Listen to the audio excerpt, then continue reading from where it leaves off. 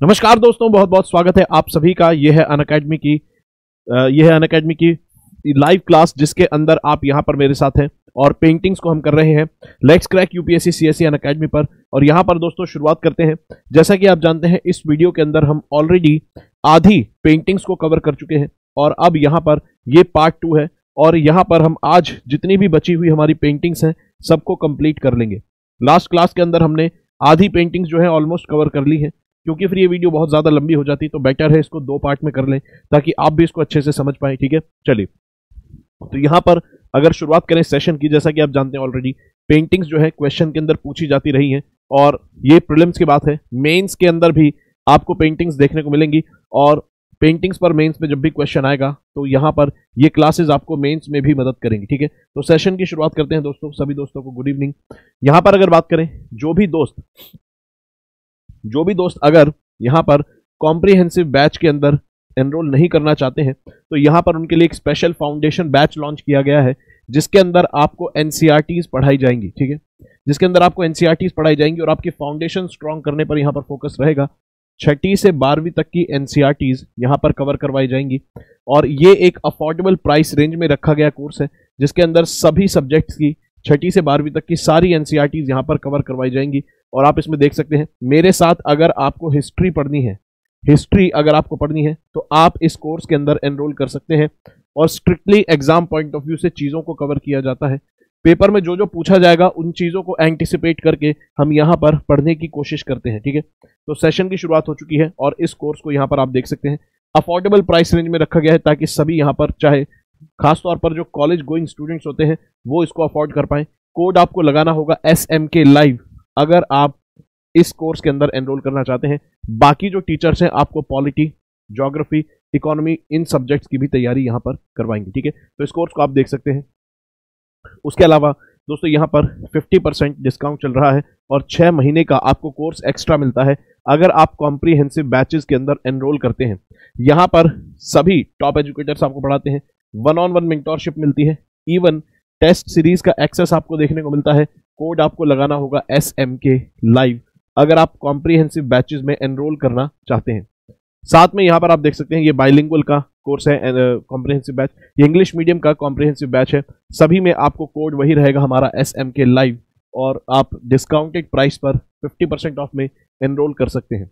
इसके अलावा 25 फरवरी को याद रखेंगे Unacademy civil services championship test होने वाला है। यानी कि यहाँ पर आप इस कॉम्बैट में पार्टिसिपेट कर सकते हैं। अपनी नॉलेज तो टेस्ट आप करेंगे ही। साथ में आप यहाँ पर कई सारे प्राइसेस जीत सकते हैं। जैसे लैपटॉप जीत जीत सकते हैं। इसके अलावा गिफ्ट वाउचर्स जीत सकते हैं। साथ में 90 परसेंट स्कॉलरशिप आप जीत सकते हैं और टेस्ट सीरीज़ तक भी आप जीत सकते हैं। तो इसके अंदर आप अपनी नॉलेज भी चेक कर सकते हैं और प्राइसेस भी जीत सकते हैं। सुबह 11 बजे और फिर शाम को 5 बजे दिन में दो बार ये होगी 25 फरवरी को इसमें एनरोल करने के लिए कोड लगाना होगा एस एम के लाइव उसके अलावा दोस्तों यहाँ पर, जैसा कि आप जानते हैं 2024 का एग्ज़ाम पास है और टेस्ट सीरीज़ बहुत ज़्यादा ज़रूरी होती है एग्ज़ाम के लिए। तो टेस्ट सीरीज़ लॉन्च हो चुकी है ऑल इंडिया टेस्ट सीरीज़ जिसके अंदर आपको टोटल 24 टेस्ट देखने को मिलते हैं।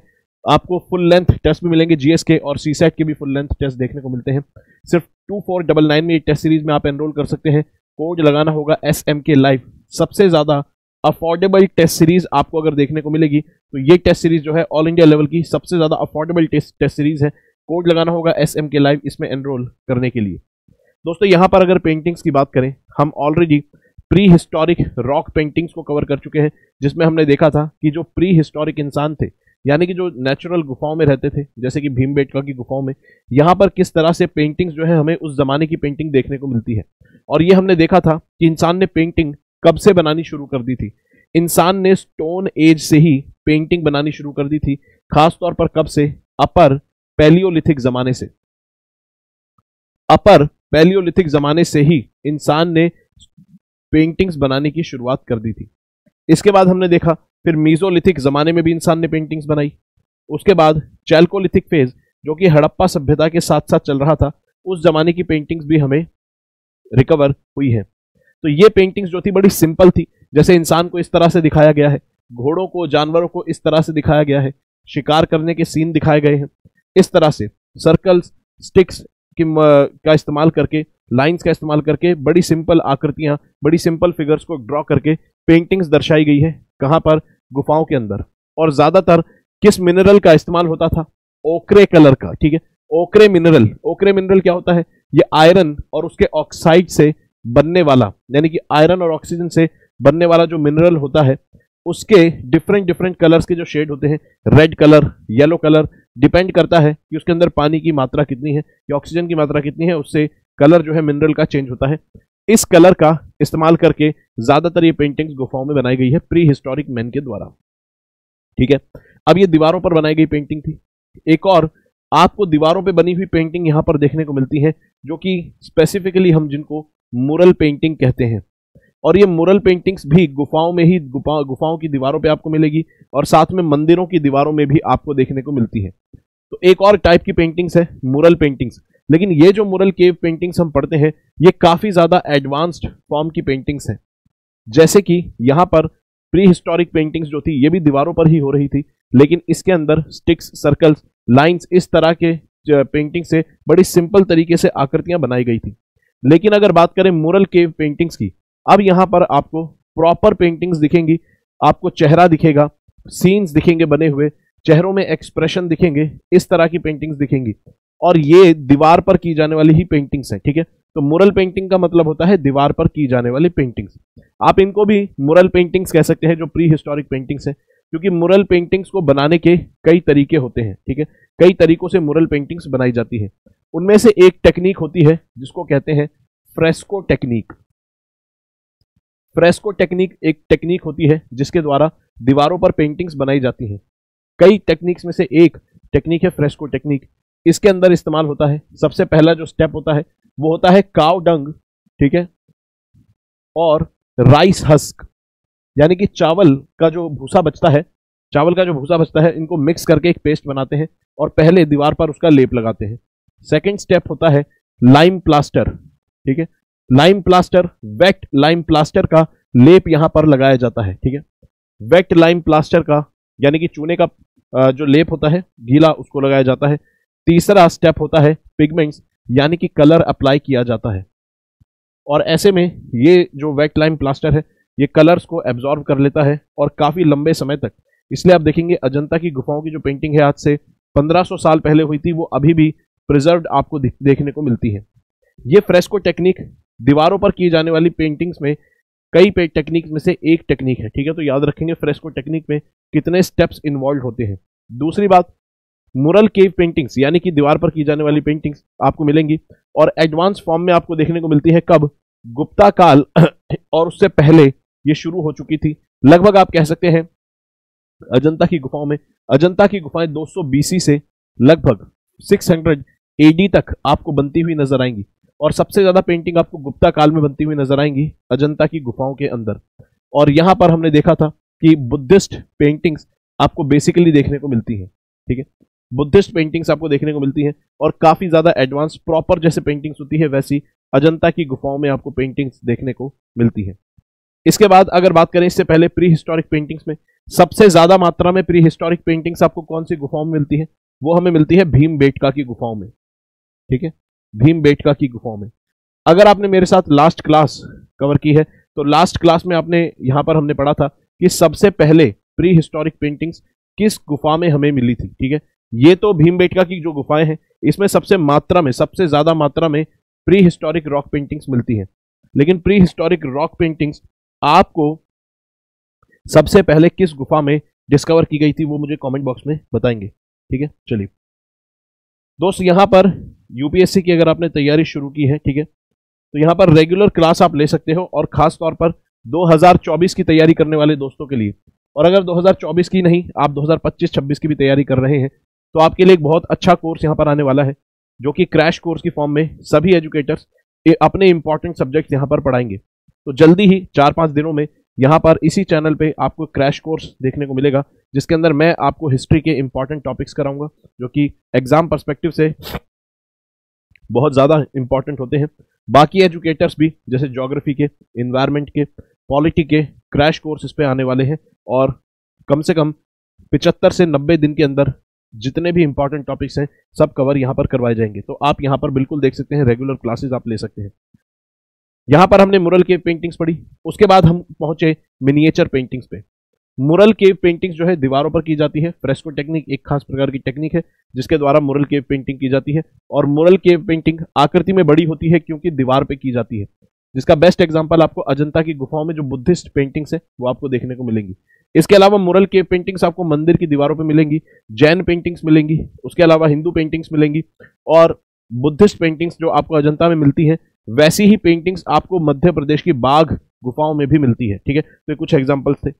इसके अलावा मिनिएचर पेंटिंग्स जो होती हैं मिनिएचर पेंटिंग्स वैसे तो साइज़ में छोटी ही होती हैं, लेकिन साइज़ में छोटा होना मिनिएचर का मतलब साइज़ में छोटा होना, यहाँ से शब्द इस शब्द से साइज़ मिनिएचर पेंटिंग इसको इसलिए नहीं कहते, क्योंकि साइज़ में छोटी है, ठीक है?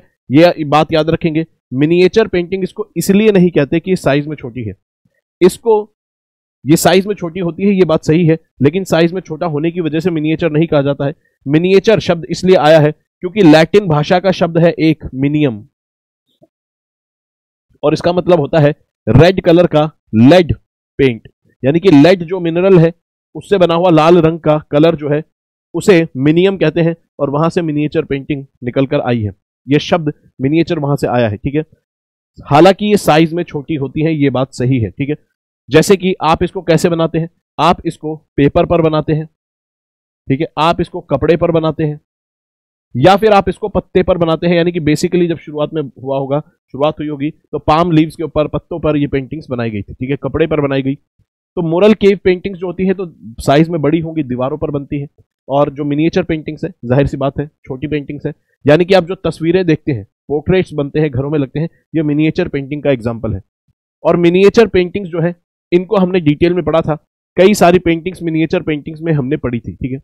अगर आगे बढ़े तो मिनिएचर पेंटिंग्स हमने देखा था कि कितने तरह की मिनिएचर पेंटिंग्स होती हैं और उसको हमने स्टडी किया था। जैसे फॉर एग्जांपल अगर आप यहाँ पर देखेंगे ये रही मिनिएचर पेंटिंग्स इसके अंदर हमने देखा था, सबसे पहले भारत के अंदर इंडिजिनसली ऑलरेडी पहले से मिनिएचर पेंटिंग्स भारत में बन रही थी। कब? पाल शासकों के जमाने में। पाल साम्राज्य 750 एडी से लगभग 1150 एडी तक चलता है भारत के अंदर। तो यहाँ पर आपको शुरुआती जो स्कूल है, शुरुआती जो पेंटिंग्स है भारत के अंदर मिनिएचर पेंटिंग्स वो आपको देखने को मिलेगी अर्ली मिनिएचर्स के रूप में। जिसके अंदर भारत में इंडिजिनसली मिनिएचर पेंटिंग्स बनाई जा रही थी। तो पेपर में कभी आपसे ये बोल दे कि मिनिएचर पेंटिंग्स जो है, वो भारत के अंदर इस्लामिक साम्राज्य जब आए, तब बनने लगी तो वो स्टेटमेंट गलत हो जाएगी। कभी आपसे बोल दे कि जो मिनिएचर पेंटिंग्स है, ये यूरोपियन या फिर पर्शियन टच है भारत की पेंटिंग्स में। उससे पहले मिनिएचर पेंटिंग्स नहीं बनती थी तो वो स्टेटमेंट भी गलत हो जाएगी। भारत के अंदर इंडिजिनसली मिनिएचर पेंटिंग्स बन रही थी, ठीक है? आप देख सकते हैं पाला स्कूल के जमाने में थीम क्या होगी? क्योंकि पाला शासक बुद्धिस्ट शासक हुआ करते थे तो ज़ाहिर सी बात है पेंटिंग की थीम क्या होगी? पेंटिंग की थीम होगी बुद्धिज्म। और क्योंकि पाला साम्राज्य कहाँ मिलेगा आपको? बंगाल के क्षेत्र में। 750 एडी के बाद। तो बंगाल के क्षेत्र में पाला साम्राज्य मिलेगा, बुद्धिस्ट शासक है। कौन सा बुद्धिज्म होगा बंगाल के अंदर? बुद्धिज्म, जो बंगाल में फ़ेमस होता था, वो होता था वज्रयान बुद्धिज्म। तो वज्रयान बुद्धिज्म से जुड़ी हुई पाला शासकों के जमाने की आपको पेंटिंग जो मिलती है मिनीचर पेंटिंग का भारत के अंदर एक एग्ज़ाम्पल देखने को मिलता है।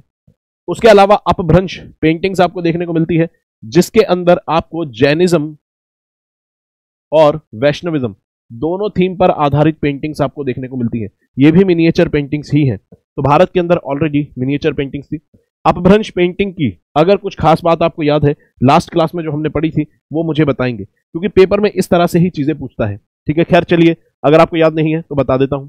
ठीक है पेंटिंग देखते ही आपको समझ आ जाना चाहिए, ये कौन सी पेंटिंग है। जैसे फॉर एग्ज़ाम्पल ये पेंटिंग देखते ही आपको समझ आ जाना चाहिए इसके फीचर क्या है? ये एक मिनिएचर पेंटिंग है, पहली बात।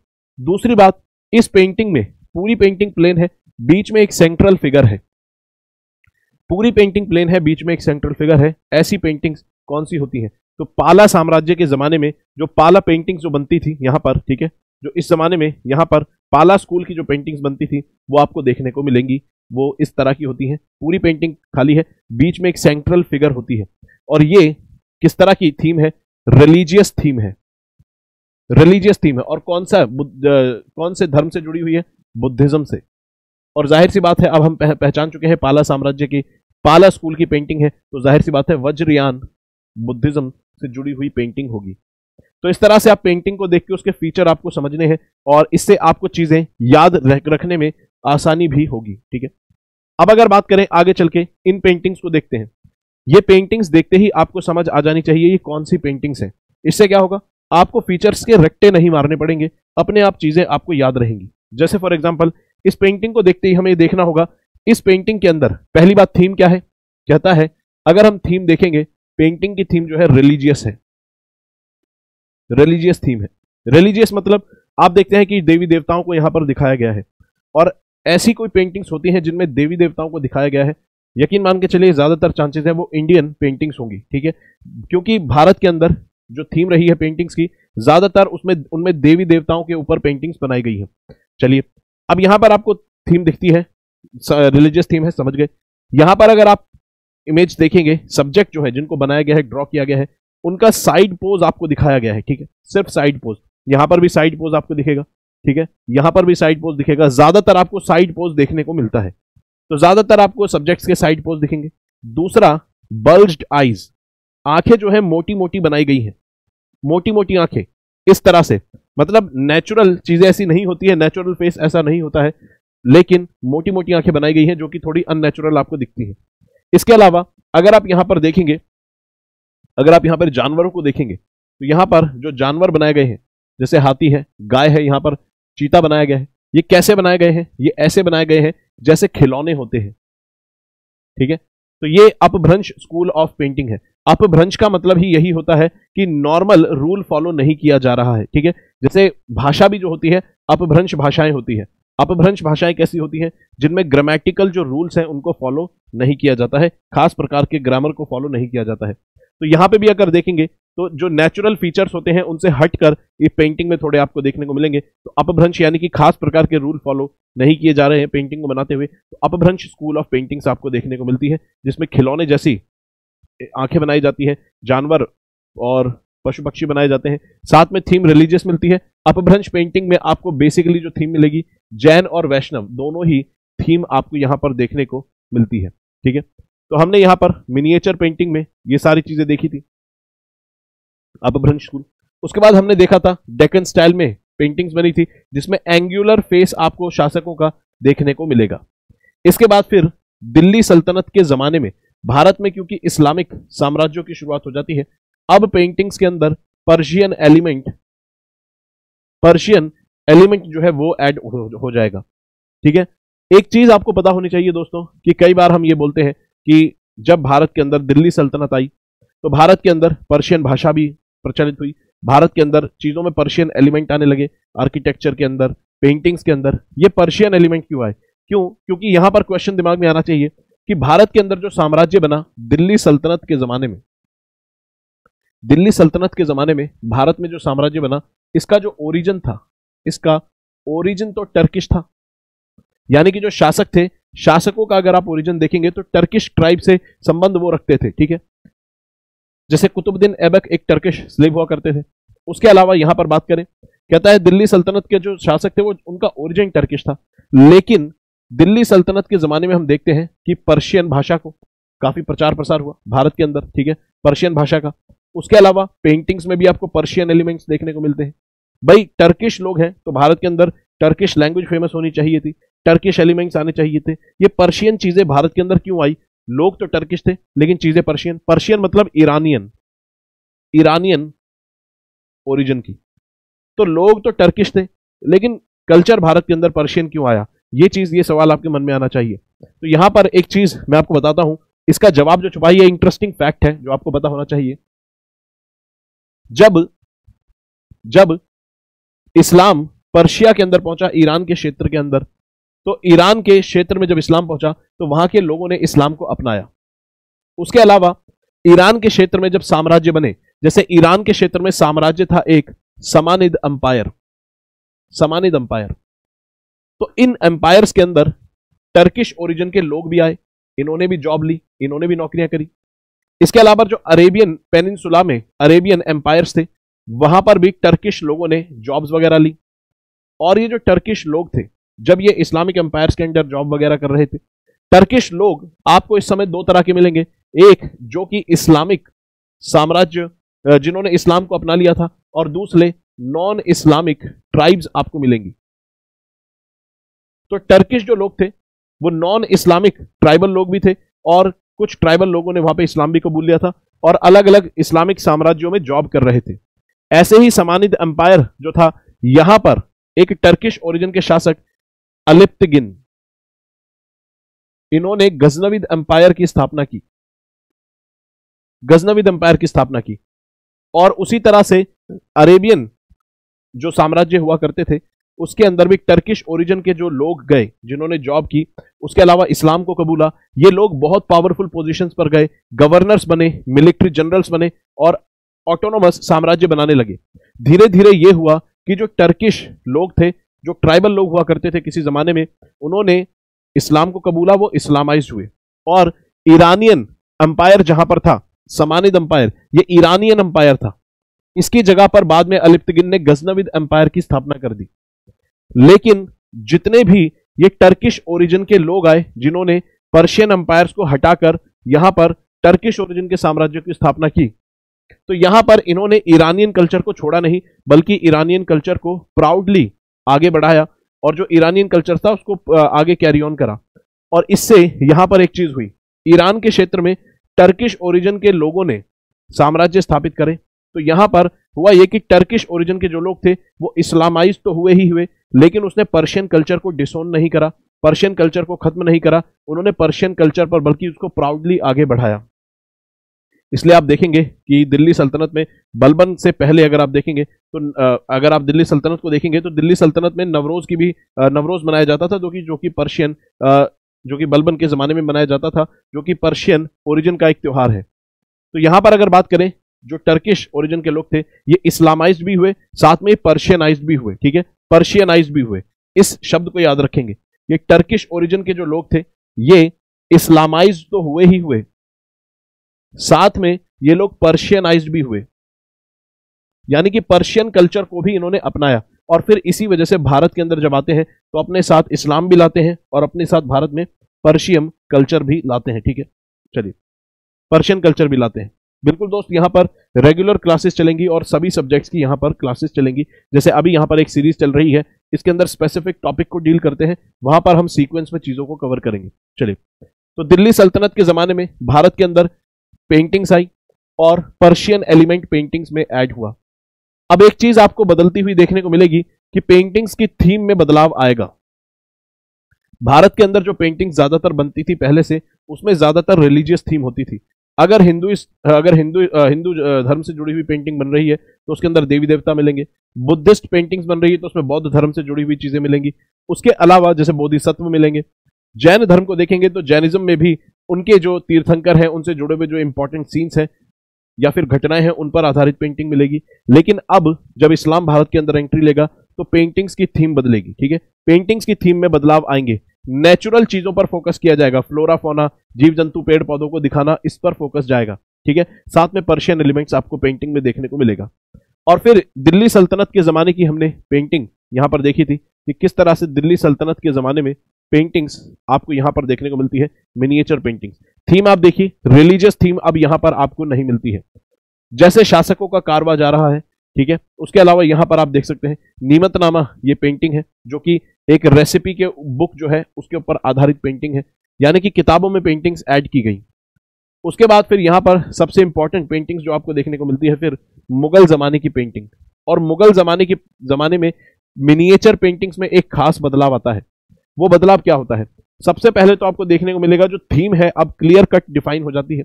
थीम्स जो है वो क्लियर कट डिफाइन थीम्स हो जाती हैं। जैसे कि शासकों के पोर्ट्रेट्स आपको बनते हुए नज़र आएँगे। दिल्ली सल्तनत के जमाने में थीम में बदलाव आया, लेकिन शासकों की फ़ोटो आपने वहाँ पर नहीं देखी होगी, ठीक है? लेकिन मुगल साम्राज्य में पोर्ट्रेट्स बनने लगे। दरबार कैसे चल रहा है? दरबार की पेंटिंग्स आने लगी, यानी कि कोर्ट पेंटिंग्स उसके अलावा शिकार करते हुए, दरबार चलाते हुए शिकार करते हुए वॉर युद्ध फाइटिंग सीन्स उसके ऊपर पेंटिंग्स बनने लगी। तो यहाँ पर क्लियर कट थीम आपको डिफाइन होती हुई नज़र आएँगी कि कोई रिलीजियस थीम नहीं है। शासकों पर फोकस किया गया, दरबार पर फोकस किया गया, युद्ध कैसे हो रहा है, इन सब चीज़ों पर फोकस किया गया। ठीक है? और सबसे बड़ा जो बदलाव आया मुगल साम्राज्य के जमाने में, वो ये हुआ कि पेंटिंग जो कि एक पॉपुलर आर्ट हुआ करती थी, जो कि लोगों के द्वारा चलाई जाने वाली एक कला थी, वो अब शासकों के द्वारा चलाई जाने वाली कला हो गई यानी कि अब वो एक कोर्ट आर्ट बन गई। पेंटिंग्स को अगर आप देखेंगे पेंटिंग्स का इतिहास कैसे रहा है? अगर कोई त्योहार आ रहा है तो लोग घर में पेंटिंग बनाते थे। रिलीजियस पेंटिंग्स भी बन रही है तो अपनी इंडिविजुअल कैपेसिटी में आर्टिस्ट लोग पेंटिंग बना रहे हैं ठीक है? कोई रिलीजियस फेस्टिवल है या वैसे भी कोई फेस्टिवल है तो पेंटिंग्स बना रहे हैं। भगवान की आ, का डिपिक्शन कर रहे हैं तो पेंटिंग्स बना रहे हैं। ऐसा नहीं है कि पेंटिंग बनाने की उनको सैलरी मिल रही है रेगुलर। ऐसा नहीं था। लेकिन मुगल साम्राज्य के जमाने में यह बदलाव, बड़ा बदलाव देखने को मिलता है और अब यहाँ पर सिस्टमैटिक तरीके से पेंटर्स हायर किए जाते हैं। पेंटर्स हायर किए जाते हैं और उनको जॉब के तौर पर रखा जाता है, जिनका काम यह होता है कि वो अलग अलग प्रकार की पेंटिंग्स बनाएँगे। जैसे मुगल साम्राज्य के जमाने में अलग अलग प्रकार से, जैसे ट्रांसलेटर्स को हायर किया गया कैलीग्राफर्स को हायर किया गया ट्रांसलेटर्स जो किताबों का अनुवाद करते थे कैलीग्राफर जो हाथ से किताबों को लिखते थे, पहले प्रिंटिंग नहीं होती थी। पेंटर्स हायर किए गए ताकि किताबों के अंदर चित्र जोड़े जाएँ। जैसे महाभारत की बुक अगर ट्रांसलेट की जा रही है तो उसके अंदर चित्र जोड़े जाएँ। तो इसलिए पेंटर्स को सैलरी पर हायर किया गया और यहाँ पर तस्वीर खाना अकबर ने एस्टैब्लिश किया। तस्वीर खाना। तो प्रॉपर अब साम्राज्य जॉब दे रहा है, पैसे दे रहा है पेंटिंग करने के। ठीक है? ये चीज़ आपको एक बड़ा बदलाव देखने को मिलता है, वरना पहले इंडिविजुअल कैपेसिटी में ये चीज़ें हो रही थी, ठीक है? और जैसे त्योहारों के तरीके से कल्चरल और ट्रेडिशन के पार्ट के रूप में ये चीज़ें हो रही थी रिलीजन के पार्ट के रूप में ये चीज़ें हो रही थी। लेकिन अब यहाँ पर प्रॉपर सैलरी पे लोग रखे गए। इसलिए आप देखेंगे, क्योंकि अकबर के जमाने में मुगल दरबार के अंदर कई सारे इस इस, इस प्रकार के जो टैलेंट वाले काम होते थे उनको सैलरी पर रखा जाता था। तो ऐसे में अलग अलग साम्राज्यों के भी जो आर्टिस्ट लोग होते थे वो अकबर के दरबार में आना चाहते थे मुगल दरबार में आकर जॉब लेना चाहते थे। और क्योंकि इस काम के लिए पैसे मिल रहे थे टाइम मिल रहा था तो ये काम यानी कि मुगल साम्राज्य के जमाने में मिनिएचर पेंटिंग्स थी इसके अंदर अलग अलग प्रकार की डेवलपमेंट देखने को मिलती है ठीक है? अलग अलग प्रकार की पेंटिंग्स बनती हुई नज़र आती हैं। जैसे अकबर के जमाने में आपको सिंपल पेंटिंग्स इस तरह से दिखेंगी। पोर्ट्रेट बनेंगे कोर्ट के सीन्स देखने को मिलेंगे। फिर जहांगीर के जमाने में एक और बदलाव होता है, जहाँ पर पेंटिंग्स अपनी पीक पर पहुँचती हैं और यहाँ पर पोर्ट्रेट्स पर और ज़्यादा फोकस कर दिया जाता है। और पोर्ट्रेट्स यहाँ पर सिर्फ़ इंसानों के नहीं, बल्कि जानवरों के भी पोर्ट्रेट्स बनाए जाते हैं। जैसे आप देख सकते हैं जेबरा की पेंटिंग फ़ेमस है। इधर से एक बकरे की, इधर से टर्की यानी कि मुर्गा जैसा जो बर्ड होता है, उसकी पेंटिंग आपको देखने को मिलेगी। जहांगीर के ज़माने में पेंटिंग्स में एक और जो बड़ा बदलाव होता है वो ये कि पेंटिंग्स को बहुत ज़्यादा बहुत ज़्यादा खूबसूरती से सजाया गया, जैसे खास तौर पर बॉर्डर्स को। और इससे पहले बॉर्डर्स पर फोकस नहीं किया गया था। जहांगीर के ज़माने में डबल बॉर्डर्स आपको दिखेंगी, एक अंदर और एक बाहर, और दोनों को अच्छे से सजाया जाता था। उसके अलावा पेंटिंग में आप एक अलग सा थ्री लुक यहाँ पर आप देखेंगे, जो कि तीसरी चीज़, जहांगीर के जमाने में पेंटिंग्स में नेचुरलिज्म पर फोकस किया गया है नेचुरलिज्म पर। मतलब पेंटिंग जितनी ज़्यादा एक्चुअल में जैसे चीज़ होती है, वैसी नेचर में वैसी दिखे, उस पर ज़्यादा फोकस किया गया, ठीक है? तो ये अलग अलग थीम्स में बदलाव आपको देखने को मिलते हैं। क्यों? क्योंकि चीज़ों को पेंटिंग्स को डेवलप किया जा रहा था पेट्रोनाइज किया जा रहा था टैलेंट को बढ़ावा दिया जा रहा था।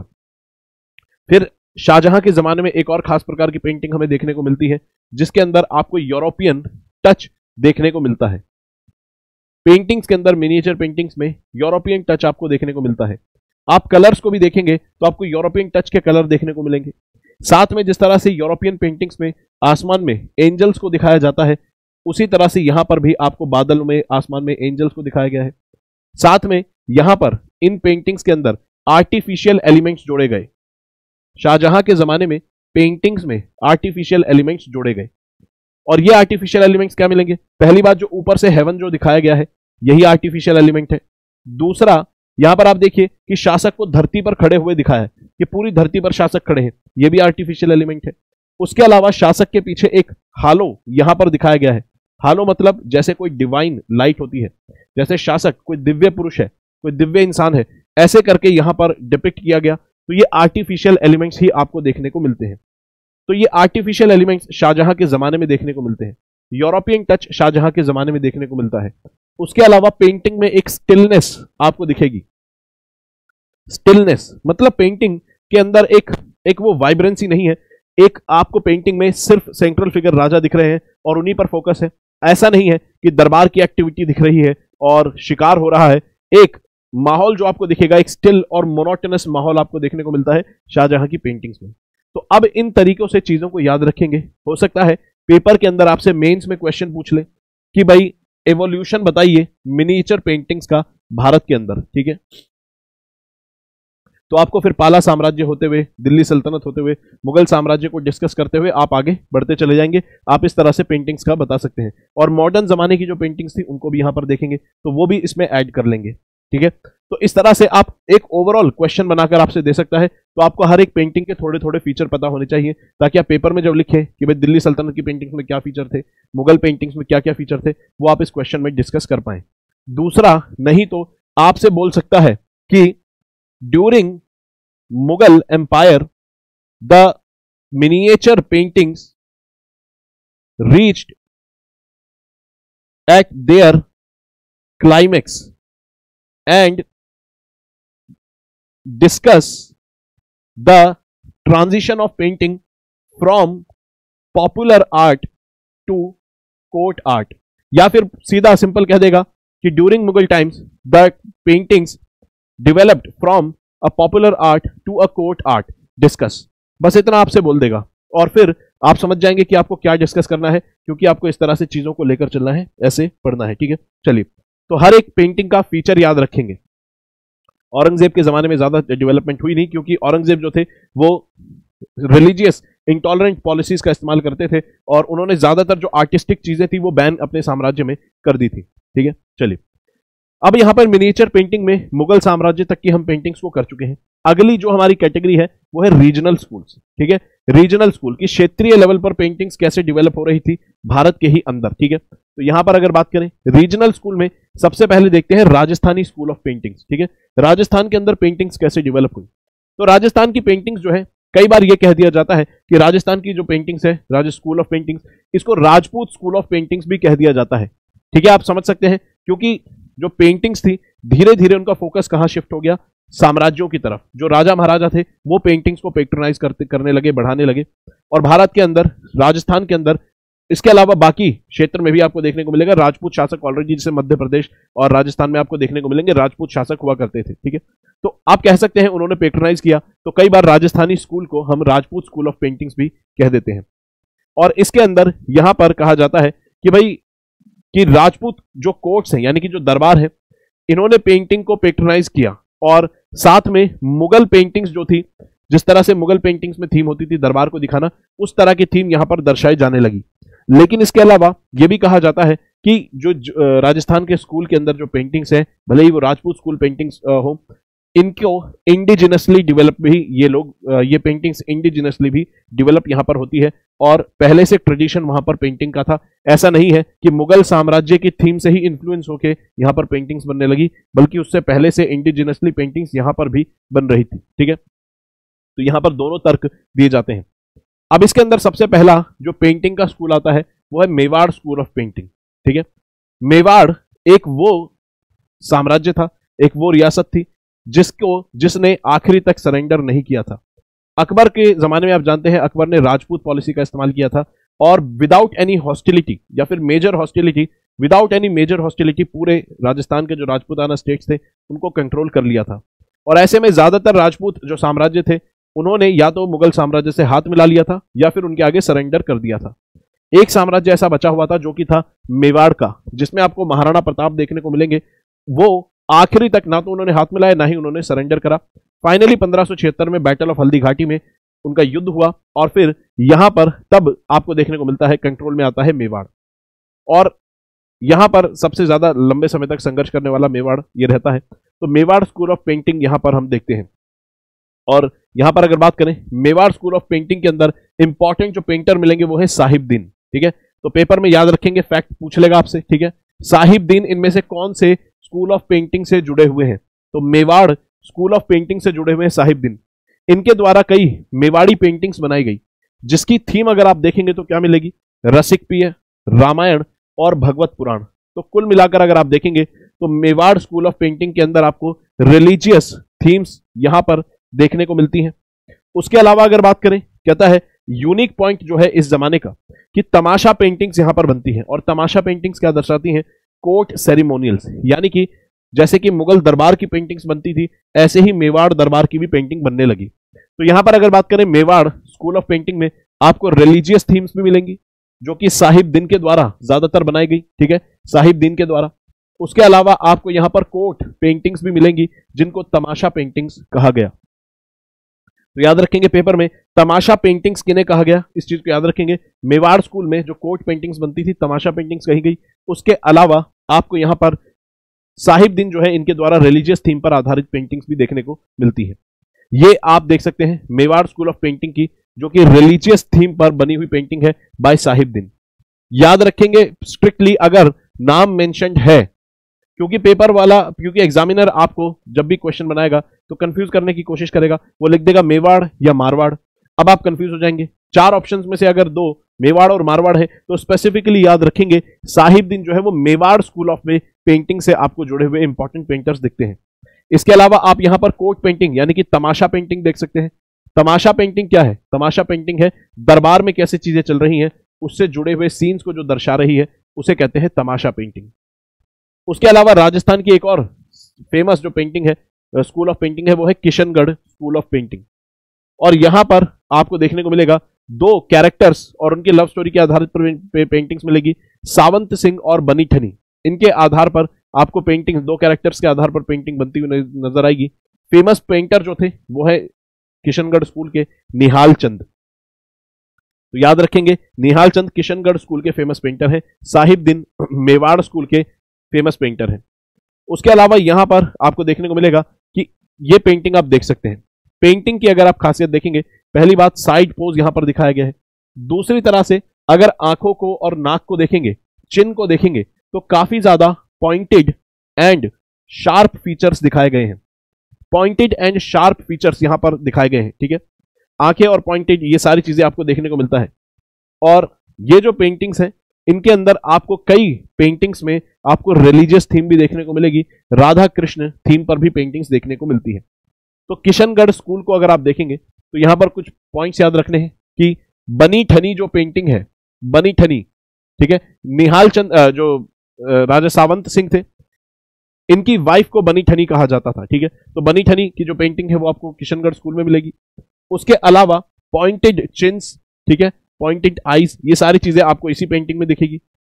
तीसरी चीज़ यहाँ पर आपको रिलीजियस थीम पर भी आधारित पेंटिंग्स दिखेगी। रिलीजियस थीम पर भी आधारित पेंटिंग्स आपको देखने को मिलती है। ठीक है? तो यहाँ पर आप देख सकते हैं। और ये क्वेश्चन जो है 2018 के प्रीलिम्स में पूछा जा चुका है।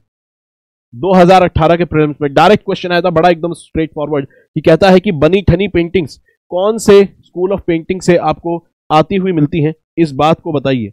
और डायरेक्ट क्वेश्चन आया था, बहुत सिंपल था जो सिर्फ़ पढ़ के गया होगा, एक बार भी रीडिंग दी होगी, एक या दो बार, वो इस क्वेश्चन को आराम से आंसर कर सकता है। Bani Thani painting Kishangarh school of painting से संबंध रखती है। यहाँ पे याद रखेंगे, निहाल चंद इनके फ़ेमस पेंटर है।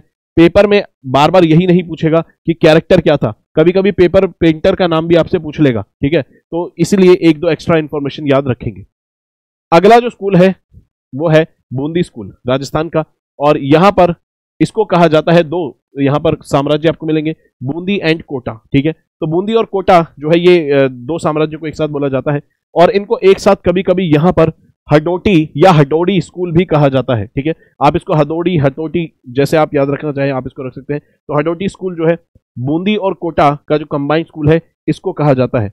और यहाँ पर जो शासक थे, बूंदी और कोटा के, ये भगवान कृष्ण के भक्त थे और इन्होंने अपने आप को ये डिक्लेयर कर दिया था कि ये शासक नहीं है, ये भगवान कृष्ण के बिहाफ पर साम्राज्य को बस चला रहे हैं।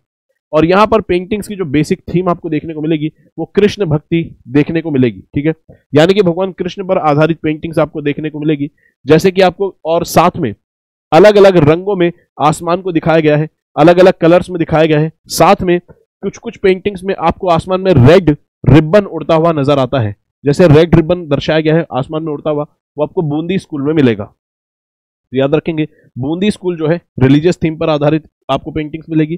खासतौर पर भगवान कृष्ण की पेंटिंग्स आपको देखने को मिलती है, ठीक है? आप देख सकते हैं यहाँ पर बूंदी स्कूल की पेंटिंग्स भगवान कृष्ण की पेंटिंग्स आपको देखने को मिलती है और कई बार पेंटिंग्स में रेड रिबन भी उड़ता हुआ नज़र आता है। ये जो यूनिक फीचर है कुछ, ये ज़रूर याद रखेंगे। जैसे पॉइंटेड चिन्स किशनगढ़ की स्कूल में थी, ठीक है? पॉइंटेड चिन पॉइंटेड आइज़ उसी तरह से रेड रिबन आपको कहा मिलता है? बूंदी कोटा स्कूल के अंदर।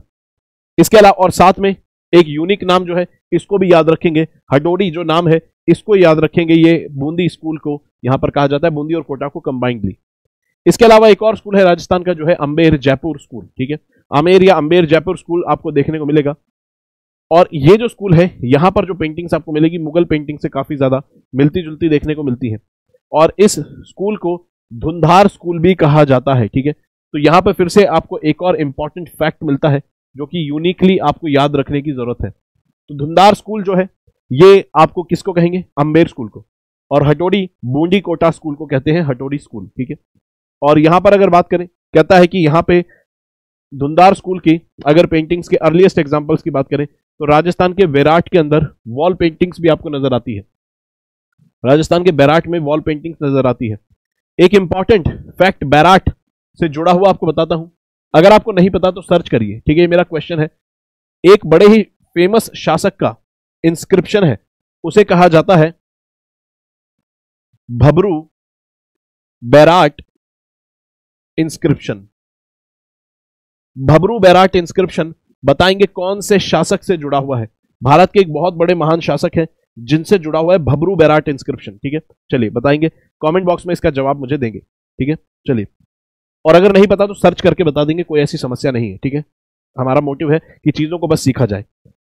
और ये जो स्कूल है, ठीक है, इस समय ये अपनी पीक पर पहुँचता है। सवाई प्रताप सिंह जो शासक थे, इनके समय के, इनके कार्यकाल के दौरान अपनी पीक पर पहुँचता है। और ये सूरत खाना बनवाते हैं। देखेंगे आप, जिस तरह से अकबर के जमाने में तस्वीर खाना बना था, ऐसे सूरत खाना यहाँ पर बनता है, कहाँ पर? अंबेर जयपुर स्कूल में। तो याद रखेंगे, फिर से एक इंपॉर्टेंट फैक्ट आपको देखने को मिलता है कि धुंधार स्कूल किसे कहते हैं? दूसरा सूरत खाना कौन से स्कूल के अंदर, कौन से स्कूल ऑफ़ पेंटिंग के अंदर बनवाया गया था? ये चीज़ आपको पता होनी चाहिए, ठीक है? तो यहाँ पर सूरत खाना बनवाया गया था अंबेर जयपुर स्कूल के अंदर। ये आप देख सकते हैं पोर्ट्रेट ऑफ़ सवाई प्रताप सिंह। आप देख सकते हैं जैसे अकबर के जमाने में या फिर मुगल पेंटिंग्स जैसी बनती थी, लगभग वैसी ही कुछ आपको यहाँ पर फीचर्स देखने को मिलते हैं, थीम देखने को मिलती है। उसके अलावा यहाँ पर अगला स्कूल है मारवाड़ स्कूल, ठीक है? और मारवाड़ स्कूल जो है इसके अंदर आपको जोधपुर भी मिलेगा, बीकानेर भी मिलेगा, जैसलमेर भी आपको यहाँ पर देखने को मिलता है, ठीक है? और यहाँ पर ये जो रीजन्स हैं, ये जो साम्राज्य रियासत हैं, इनके भी मुगल दरबारों से लिंक आपको देखने को मिलते हैं, ठीक है? और अगर यहाँ पर बात करें, कहता है कि मुगल पैटर्न्स इन पेंटिंग्स में भी आपको देखने को मिलते हैं, ठीक है? लेकिन 18वीं सेंचुरी के बाद, ठीक है, यहाँ पर राजपूत एलिमेंट्स आपको प्रीडोमिनेंटली पेंटिंग्स में नज़र आते हैं। और इस जमाने में आपको मानसिंह देखने को मिलेंगे अठारह से अठारह तक और कई सारी पेंटिंग्स इन्होंने कमीशन करी, जिसमें आपको शिव पुराण, नाट्य चरित्र, यानी कि कुल मिलाकर रिलीजियस थीम पर आधारित पेंटिंग्स आपको यहाँ पर देखने को मिलती है।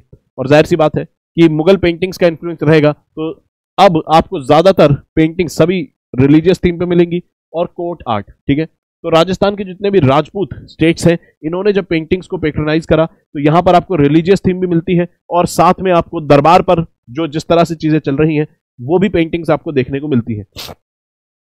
तो आप देख सकते हैं, मारवाड़ स्कूल के अंदर कोट पेंटिंग आपको देखने को मिलती है, जैसे मुगल दरबार के अंदर देखने को मिलती है। तो आप कह सकते हैं, ये सारे जो इन्फ्लुएंस है पेंटिंग्स के अंदर, ये इन्फ्लुएंस मुगल जमाने की जो थीम चेंज हुई, उसके इन्फ्लुएंस है। क्योंकि इससे पहले भारत में अगर आप देखेंगे इंडिजिनसली जितनी पेंटिंग्स होती थी, उसके अंदर रिलीजियस थीम्स होती थी। शासक और शासकों की एक्टिविटीज़ को नहीं दर्शाया जाता था। मुगल पेंटिंग्स में चीज़ शुरू हुई। बाद में राजस्थान के जो राजपूत स्टेट्स थे, उन्होंने भी इस थीम को अपने अंदर इनकॉर्पोरेट किया। अब इस टेबल को आप पॉज कर कर चीज़ों को नोट कर सकते हैं और जितनी भी पेंटिंग्स हमने पढ़ी हैं अभी, यहाँ पर राजपूत स्टेट्स की और मुगल पेंटिंग्स इनमें आपको कॉमन डिफरेंसेस इस टेबल के थ्रू बताए गए हैं। जैसे अगर बात करें, किस टाइप की पेंटिंग है? राजपूत स्टाइल की पेंटिंग्स जो बात करें, शुरुआत में मुरल पेंटिंग्स में मिलेगी। जैसे हमने बात करी बैराट के अंदर राजस्थान में मुरल पेंटिंग्स के सबूत मिलते हैं, लेकिन बाद में मिनिएचर पेंटिंग राजस्थान में बनने लगी। और मुगल स्टाइल पेंटिंग जो थी, ये पर्शियन एलिमेंट से बनी हुई। पर्शियन एलिमेंट्स इसमें मिलेंगे और ये एक मिनिएचर पेंटिंग मिलेगी जो कि मुगल पेंटिंग्स ज़्यादातर आपको मिनिएचर ही मिलेंगी। थीम क्या होती थी? राजपूत स्टाइल की। डिवोशनल और रिलीजियन इन नेचर इसके अलावा आपको कोर्ट आर्ट भी मिलेगी, लेकिन वो मुगल इन्फ्लुएंस आपको बेसिकली देखने को मिलता है। लेकिन यहाँ पर बात करें मुगल स्टाइल की पेंटिंग्स में। तो यहाँ पर शासक और शासक की जो एक्टिविटीज़ है, उसको दिखाया गया। जैसे बैटल करना, शिकार करना कोर्ट के अंदर, दरबार के अंदर सुनवाई करना, ये सारी चीज़ें। उसके अलावा सिंबल्स आपको हिंदू सिंबल्स यहाँ पर देखने को मिलेंगे। जैसे कमल का फूल, ठीक है, मोर और हंस, ये सारी चीज़ें देखने को मिलती है बतख वगैरह। लेकिन यहाँ पर अगर बात करें मुगल पेंटिंग्स के अंदर तो फोकस आपको मिलेगा इंसानों के ऊपर, पेड़ पौधों के ऊपर, जानवरों के ऊपर। इस तरह से आपको फोकस देखने को मिलता है, ठीक है? जैसे कि अगर आप देखें यहाँ पर तो नेचुरल चीज़ों पर फोकस आपको जहांगीर के जमाने में सबसे ज़्यादा होता हुआ भी नज़र आता है। बिल्कुल दोस्तों, यहाँ पर विष्णु विष्णु सिंह बिल्कुल ये सही है, बिल्कुल राजा अशोका के इंस्क्रिप्शन आपको, भबरू बैराट इंस्क्रिप्शन में देखने को मिलते हैं, ठीक है? चलिए गुड इवनिंग दोस्तों, सभी दोस्तों को। उसके अलावा टाइम पीरियड अगर देखें तो राजपूत जो पेंटिंग्स है, ये आपको सेवनटीन टू एटीन सेंचुरी में मेजर मेजरली डेवलप्ड होती, नज़र आती हैं। लेकिन मुगल पेंटिंग्स आपको सिर्फ़ सिक्सटीन यानी कि थोड़ा सा पहले डेवलप होनी शुरू हो जाती हैं राजपूत पेंटिंग से, ठीक है? चलिए। अब यहाँ पर जो हमारी अगली कैटेगरी है रीजनल स्कूल्स की। राजस्थान के स्कूल हमने पढ़ लिए। अब अगली जो कैटेगरी है, वो है पहाड़ी स्टाइल ऑफ़ पेंटिंग्स ठीक है? तो राजस्थान में कितने तरह के स्कूल से वो आपने यहाँ पर देख लिए हैं। अब यहाँ पर पहाड़ी स्टाइल ऑफ़ पेंटिंग्स को देखेंगे, यानी कि पहाड़ी रीजन के अंदर पेंटिंग्स कैसे डेवलप हो रही थी, ठीक है? और ये सब हिमालयन स्टेट्स यानी कि हिमालय जो है, हिमालय पर्वत श्रृंखला है, उसके आसपास जो साम्राज्य थे, उनसे जुड़ी हुई, उन साम्राज्यों में जिस तरह से पेंटिंग डेवलप हुई, उसको यहाँ पर देखेंगे। ठीक है? चलिए। अगर यहाँ पर बात करें, ये कई स्कूल्स कई स्मॉलर किंगडम्स आपको मिलेंगे, और इनके दौरान पेंटिंग डेवलप हुई, इनको पहाड़ी पेंटिंग हम कंबाइन करके कह देते हैं, यानी कि पहाड़ी रीजन में। बेसिकली दो ग्रुप्स आपको मिलेंगे, दो कैटेगरीज मिलेंगी। एक नॉर्दर्न रीजन में जो डेवलप हुई, उनको कहा गया जम्मू और डोगरा स्कूल पेंटिंग जो शैली पेंटिंग की डेवलप हुई नॉर्दर्न पहाड़ी इलाकों में, उसे कहा गया जम्मू और डोगरा। और जो हिमाचल के क्षेत्र में आपको मिलेंगे लगभग, उन्हें कहा गया बशोली एंड कांगड़ा स्कूल ठीक है? जो पहाड़ों में साउथ की साइड में हुई डेवलप उनको बशोली और कांगड़ा। और जो नॉर्थ में हुई उन्हें जम्मू एंड डोगरा स्कूल कहा गया, ठीक है? और थीम आपको पेंटिंग्स की क्या दिखेंगी? ज़्यादातर आपको पेंटिंग्स की थीम रिलीजियस थीम मिलेगी मेथोलॉजिकल देखने को मिलेगी, और आप देखेंगे ज़्यादातर भगवान कृष्ण की पेंटिंग्स ही आपको यहाँ पर पहाड़ी स्कूल में भी नज़र आती है। कहते हैं कि ग्रेटेस्ट पेंटर्स जो है, पहाड़ी स्टाइल पेंटर्स जो आपको मिलेंगे, वो है नैनसुख और मनाकू ठीक है? तो ये जो छोटे छोटे फैक्ट्स हैं, इनको याद रखेंगे। पेपर में आपसे हो सकता है इस तरह से भी क्वेश्चन बना ले। कह देगा कि नैनसुख एंड मनाकू यहाँ पर किसी एक पर्टिकुलर स्कूल ऑफ़ पेंटिंग के पेंटर्स हैं, ठीक है? और ये जो स्कूल ऑफ़ पेंटिंग है, इसमें एक सब स्कूल आपको बशोली स्कूल देखने को मिलेगा, ठीक है? और कह देगा साथ में कि ये जो स्कूल है, बशोली स्कूल है, और एक्स्ट्रा इन्फॉर्मेशन कह देगा रिलीजियस थीम है। बताइए, इनमें से कौन से स्कूल की पेंटिंग्स आपको देखने को मिलती है? दो चार फीचर बता देगा और पूछेगा कौन से स्कूल से यहाँ पर जुड़ी हुई पेंटिंग है, किसकी हम बात कर रहे हैं। जैसे मान लीजिए वो आपसे पूछ लेगा किशनगढ़ की पेंटिंग के बारे में। बिना किशनगढ़ नाम लिए बोल देगा कि यहाँ पर पॉइंटेड थीम है, इस तरह से राजा सावंत सिंह है निहाल चंद फ़ेमस पेंटर है, और फिर बाद में पूछ देगा कौन से स्कूल की मैं बात कर रहा हूँ, ठीक है? तो इसलिए याद रखेंगे बेसिक थीम्स और फीचर ठीक है? चलिए तो यहाँ पर नैनसुक और मनाकू जो है, ये आपको Pahari style of school of painting के इंपॉर्टेंट आर्टिस्ट देखने को मिलते हैं। कहता है, पहले देखते हैं बशोली स्कूल कहता है बशोली स्कूल जो है, ये आपको देखने को मिलेगा सेवनटीन सेंचुरी के अंदर डेवलप होता है पहाड़ी स्कूल के अंदर। सेवनटीन सेंचुरी का मतलब 1600 से 1699 के ज़माने में, ठीक है? तो 1600 और 1699 के ज़माने में यहाँ पे स्कूल डेवलप होता है और इसे पहाड़ी स्कूल का अर्ली फ़ेज़ कहते हैं, ठीक है? तो बशोली जो है पहाड़ी पेंटिंग का, ये शुरुआती दिनों का स्कूल है, ठीक है? बाद में कांगड़ा स्कूल डेवलप होता है, ठीक है? तो बशोली पहले डेवलप हुआ, बाद में कांगड़ा स्कूल डेवलप होता है, ठीक है? कांगड़ा शैली बाद में डेवलप होती है। अब अगर इन पेंटिंग्स को अगर आप यहाँ पर देखेंगे, ठीक है? ठीक है? अगर इन पेंटिंग्स को यहाँ पर देखेंगे, इन पेंटिंग्स में आपको बल्ज्ड आईज दिखेंगी, ठीक है? यानी कि मोटी मोटी बल्ज आँखें दिखेंगी। उसके अलावा इनका जो यूनिक फीचर है वो ये कि यहाँ पर जो हेयर लाइन है, यानी कि जो आप कह सकते हैं फोर हेड है फोर हेड को ज़्यादा बड़ा दिखाया जाता है और हेयर लाइन काफ़ी पीछे से शुरू की जाती है। तो जो पीछे से हेयर लाइन आपको देखने को मिलेगी रिसीडिंग हेयर लाइन ये बशोली स्कूल का एक यूनिक फीचर आपको देखने को मिलेगा। और ज़्यादातर रिलीजियस थीम पर ही आधारित आपको पेंटिंग्स देखने को मिलेगी। इनका जो मेन फीचर है, वो है रिसीडिंग हेयरलाइन और बिग आईज ठीक है? तो जहाँ पर भी आपको इस तरह की फीचर देखने को मिलेंगे, आप समझ जाएँगे पहाड़ी स्कूल से जुड़ा हुआ है और बशोली स्कूल वो आपको ज़्यादातर हो सकता है देखने को मिल रहा है, ठीक है? चलिए, उसके अलावा यहाँ पर कहता है कि शुरुआत में यहाँ पे मुगल टेक्निक्स ऑफ़ पेंटिंग जो है क्लोथिंग का इस्तेमाल हुआ, लेकिन बाद में अपने यूनिक फीचर आपको देखने को मिलता है। और इनके फ़ेमस जो शासक हैं, जिन्होंने पेट्रोनाइज करा डेवलप किया इस पेंटिंग को, राजा कृपाल सिंह। और थीम जो आपको देखने को मिलेगी कॉमन थीम्स फिर से रिलीजियस थीम्स देखने को मिलेंगी, जैसे भानु दत्त की रासमंजरी पर आधारित पेंटिंग्स मिलेगी, गीता गोविंदा जो कि किसने, जयदेव ने लिखी है, और रामायण पर आधारित पेंटिंग्स आपको देखने को मिलेगी। उसके अलावा बशोली स्कूल के जो फ़ेमस पेंटर है बशोली स्कूल के फ़ेमस पेंटर है देवीदास ठीक है? चलिए। तो अब ये जो पेंटिंग है, इसको देखते ही आपके दिमाग में आ जाना चाहिए, ये कौन से स्कूल की पेंटिंग है? ये बशोली स्कूल की पेंटिंग है रिसीडिंग हेयर लाइन है और मोटी मोटी आँखें हैं, ठीक है? और इंडियन पेंटिंग है तो ज़ाहिर सी बात है, ज़्यादातर ये बात तो है कि रिलीजियस थीम तो होगी ही होगी, ठीक है? चलिए। उसके बाद कहता है, कांगड़ा स्कूल जो है, पहाड़ी स्कूल में अगला स्कूल है। कहता है कि यहाँ पर ये बाद में डिवेलप हुआ, पहाड़ों में जो स्कूल डिवेलप हुआ तो पहले बशोली डिवेलप हुआ, बाद में कांगड़ा डिवेलप हुआ, और ये कांगड़ा स्कूल आखिर कैसे डिवेलप हुआ? कहता है कि मुगल साम्राज्य जब डिक्लाइन हो रहा था, तब मुगल साम्राज्य में आर्ट एंड कल्चर पेंटिंग्स वगैरह पर उतना फोकस जब नहीं रहा आर्टिस्ट लोग बेरोजगार हो गए तो उनको मुगल साम्राज्य छोड़कर आस पड़ोस के साम्राज्यों में वो लोग जाने लगे माइग्रेट करने लगे। ऐसे में कांगड़ा स्कूल डिवेलप होता है। जैसे कि यहाँ पर बताया गया, राजा गोवर्धन सिंह जो है, सत्रह सौ चौहत्तर के अंदर पेट्रोनाइज करते हैं पेंटिंग डेवलपमेंट को, और कांगड़ा स्कूल यहाँ पर डिवेलप होता है, ठीक है? और ये सब शास जितने भी आर्टिस्ट थे, ये कांगड़ा रीजन में जाने लगे और इससे कांगड़ा स्कूल डिवेलप होता है। और कांगड़ा स्कूल जो है, ये भी दो तरीके से डिवेलप होता है, गुलेर कांगड़ा स्कूल के फॉर्म में। पहले गुलेर स्कूल डिवेलप होता है, उसके बाद कांगड़ा स्कूल डिवेलप होता है, ठीक है? तो यहाँ पर गुलेर के बाद कांगड़ा डिवेलप होता है। तो हम कह सकते हैं कि एक तो आपको बशोली स्कूल मिलेगा पहाड़ी पेंटिंग्स में जो कि अर्ली स्कूल है, बाद में आपको कांगड़ा मिलेगा। और कांगड़ा को भी कांगड़ा याद नहीं रखेंगे, गुलेर कांगड़ा याद रखेंगे, ठीक है? गुलेर कांगड़ा करके। तो पहले आपको बशोली मिलेगा, उसके बाद गुलेर स्कूल डिवेलप होएगा, और फिर लास्ट में कांगड़ा स्कूल डिवेलप होता हुआ आपको नज़र आता है। तो यहाँ पर याद रखेंगे पेपर में इस तरह से स्पेसिफिकली स्टेटमेंट वाइज भी क्वेश्चन बना सकता है। कह देगा कि गुलेर जो है, Guler school of painting in Pahari style was the earliest school of painting in Pahari style of painting. तो यहाँ पर याद रखेंगे, गुलेर जो है अर्लीस्ट नहीं है। बशोली के बाद गुलेर गुलेर के बाद कांगड़ा स्कूल डेवलप होता है, ठीक है? और उसके अलावा बेसिक फीचर है, वो याद रखेंगे। रिसीडिंग हेयरलाइन बर्स्ट आइज़ ये तरह की बातें जो है, ये सारी चीज़ें याद रखेंगे। तो कांगड़ा जो स्कूल है, ये डेवलप होता है जब मुगल साम्राज्य पेंटिंग पर फोकस नहीं कर पा रहा था डिक्लाइनिंग मोड में था।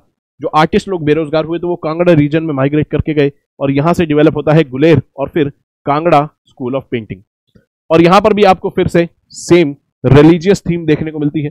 गीता गोविंदा पे, भगवत पुराण पे सत्यसाई और बिहारी लाल पे और नाल दमयंती पर। उसके अलावा एक इंपॉर्टेंट जो फीचर है मोस्ट फ़ेमस जो पेंटिंग है इस कांगड़ा स्कूल की, वो है बारह महीने के जो सीज़न है और उसका इंसानों पर क्या इमोशंस पे क्या असर है, ये सारी चीज़ें पेंटिंग्स के थ्रू दर्शाने की कोशिश की जाती है।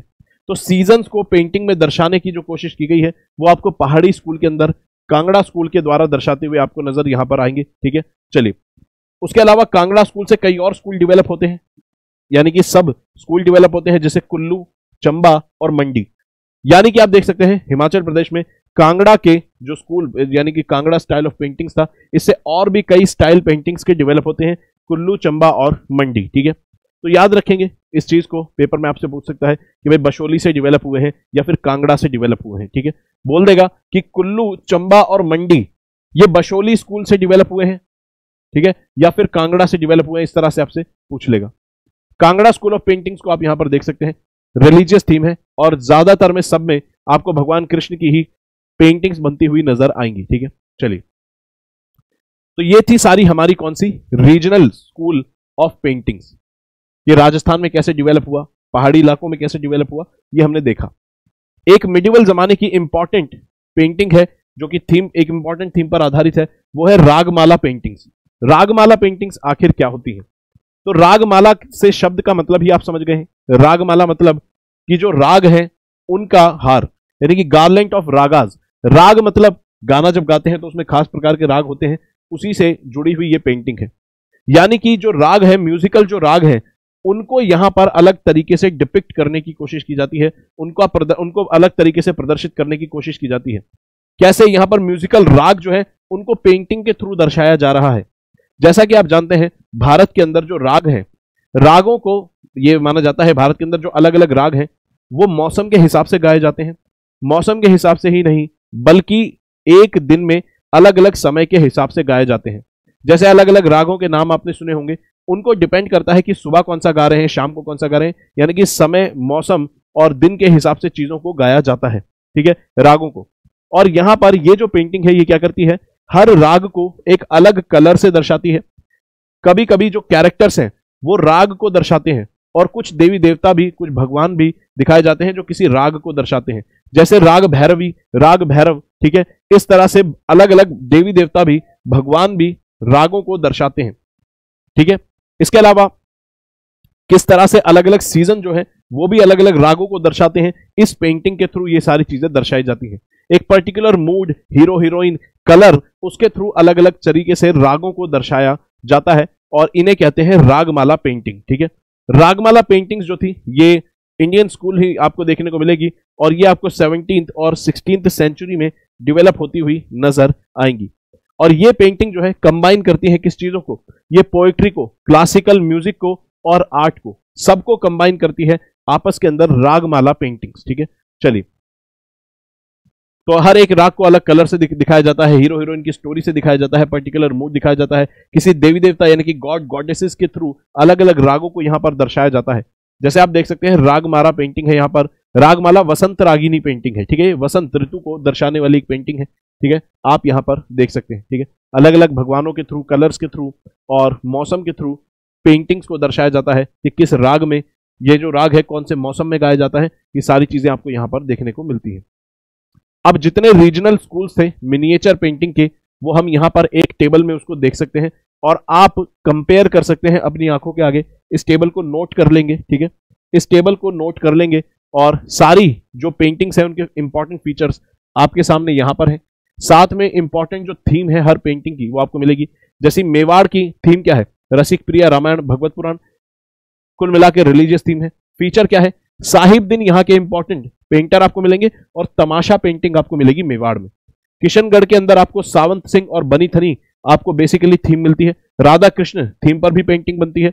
पेंटर कौन है? फ़ेमस निहाल चंद। बूंदी स्कूल जो है, यहाँ पर हडोडी स्कूल भी इसको कहा जाता है। और आसमान में रिबन उड़ता हुआ पेंटिंग्स में कई बार दिखाया जाता है, ठीक है? उसके अलावा यहाँ पर भगवान कृष्ण की भक्ति से जुड़े हुए शासक देखने को आपको मिलते हैं। अंबेर जयपुर, जो ये स्कूल है, इसके अंदर, इसको धुंधार स्कूल भी कहा जाता है। और यहाँ पर सवाई प्रताप सिंह, जो शासक हैं, इन्होंने पेट्रोनाइज करा धुंधार स्कूल को, यानी कि अंबेर जयपुर को। सूरत खाना इनके द्वारा बनवाया गया था। इसके अलावा मारवाड़ स्कूल को आप देख सकते हैं, ठीक है? बशोली स्कूल ऑलरेडी देख चुके हैं। इसके अलावा कांगड़ा स्कूल ठीक है? चलिए और रागमाला पेंटिंग्स हालाँकि ये रीजनल स्कूल नहीं एक रीजनल स्कूल की पेंटिंग नहीं है, एक सेपरेट पेंटिंग है सेपरेट थीम पर आधारित पेंटिंग है। कौन सी थीम है वो? थीम है हमारी, ठीक है? ठीक है?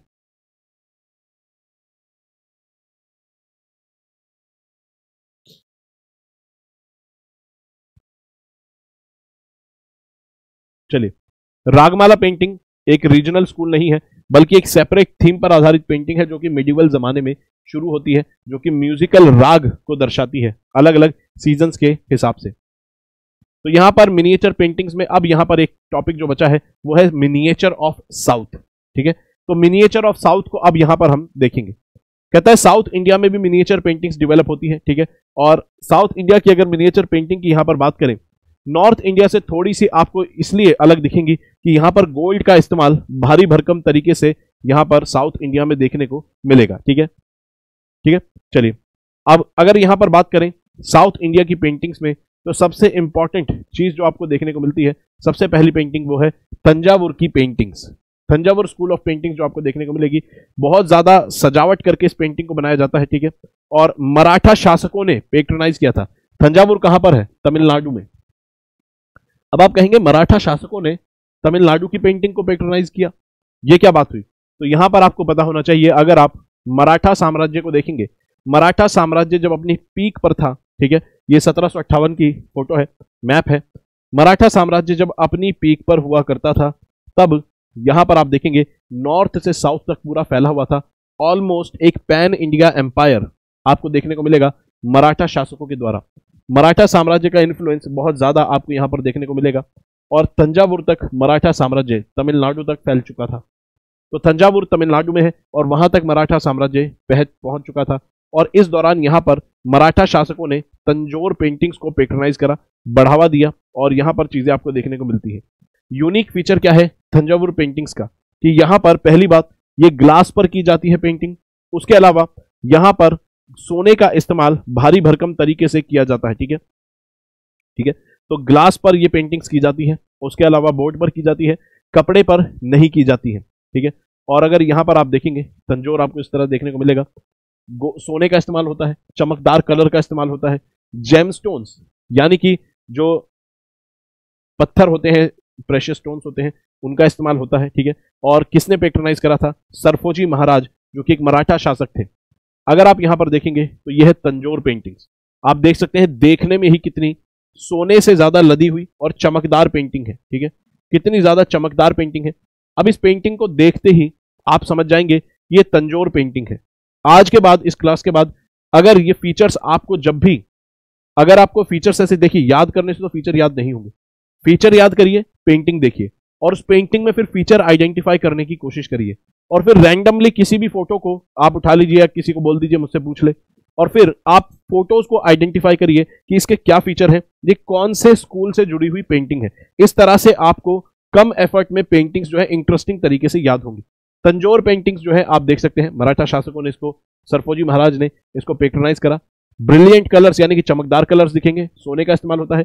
ग्लास पर या फिर बोर्ड पर की जाने वाली पेंटिंग है। कपड़े पर नहीं की जाती है। ये खास बात इस पेंटिंग की आपको देखने को मिलती है। साउथ की जो मिनिएचर पेंटिंग्स है, उसमें से एक और फ़ेमस पेंटिंग है, वो है मैसूर पेंटिंग्स और मैसूर पेंटिंग्स के अंदर आपको जो थीम मिलेगी, वो आपको रिलीजियस थीम मिलेगी. यहाँ पर भी आपको रिलीजियस थीम मिलती है तंजोर पेंटिंग में भी.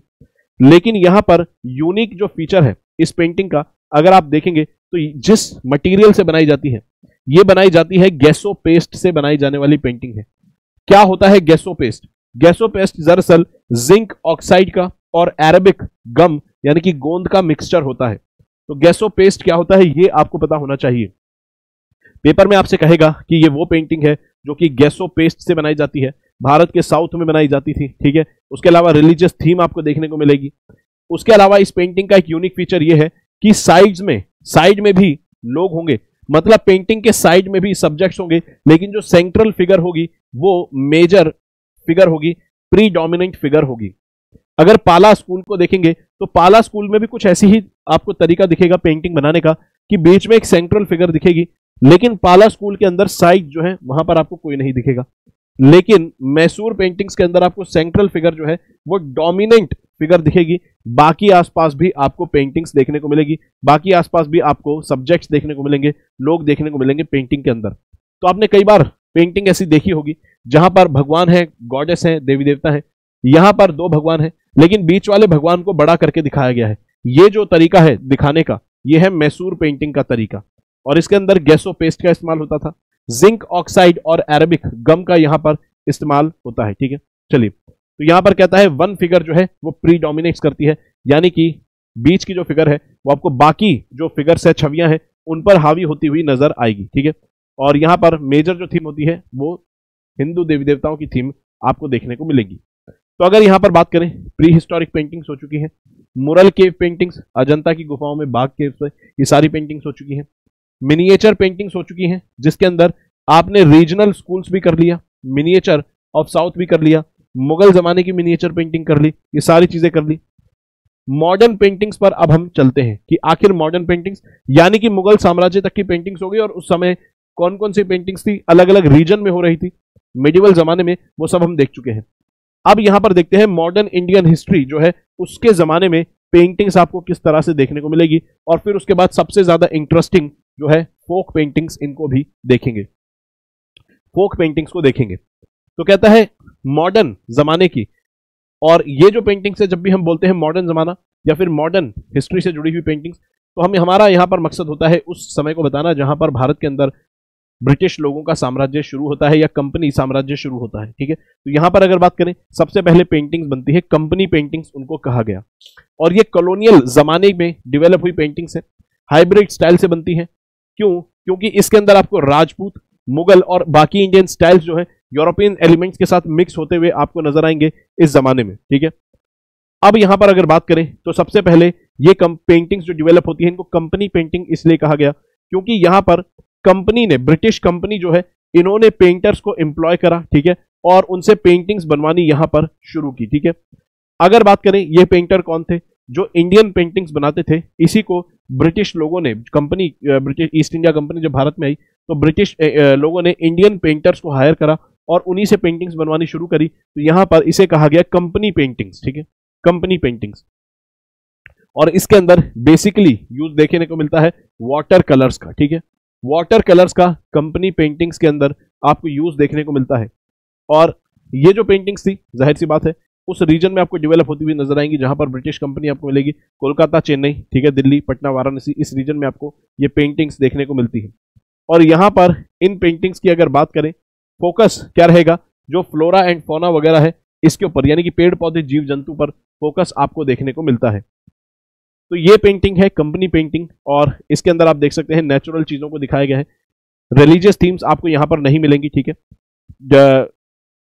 कैसे नॉर्मल चीज़ें चल रही है, ये सारी फ्लोरा फोना और ये सारी रोज़मर्रा की लाइफ इस तरह की चीज़ें की पेंटिंग आपको मिलेगी।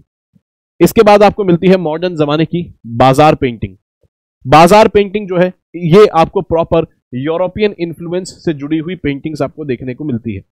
और बाज़ार स्कूल ऑफ़ पेंटिंग जो है इसके अंदर आपको इंडियन इन्फ्लुएंस नहीं दिखता है, बल्कि रोमन और ग्रीक इन्फ्लुएंस देखने को मिलता है। और ये जो स्कूल है, ये इस तरह की जो पेंटिंग्स बनी, ये आपको बंगाल और बिहार के रीजन में देखने को मिलेंगी। और ये एवरीडे बाज़ार की जो एक्टिविटीज़ है इंडियन बाज़ार की जो एक्टिविटीज़ है, उसको दर्शाती है। लेकिन इसके अंदर पूरा जो टच आपको मिलता है, वो यूरोपियन टच आपको देखने को मिलता है रोमन टच आपको देखने को मिलता है ग्रीक टच आपको देखने को मिलता है। यहाँ पर आप देख सकते हैं कि यहाँ पर बाज़ार पेंटिंग का ये एक आपके पास देखने को मिलती है।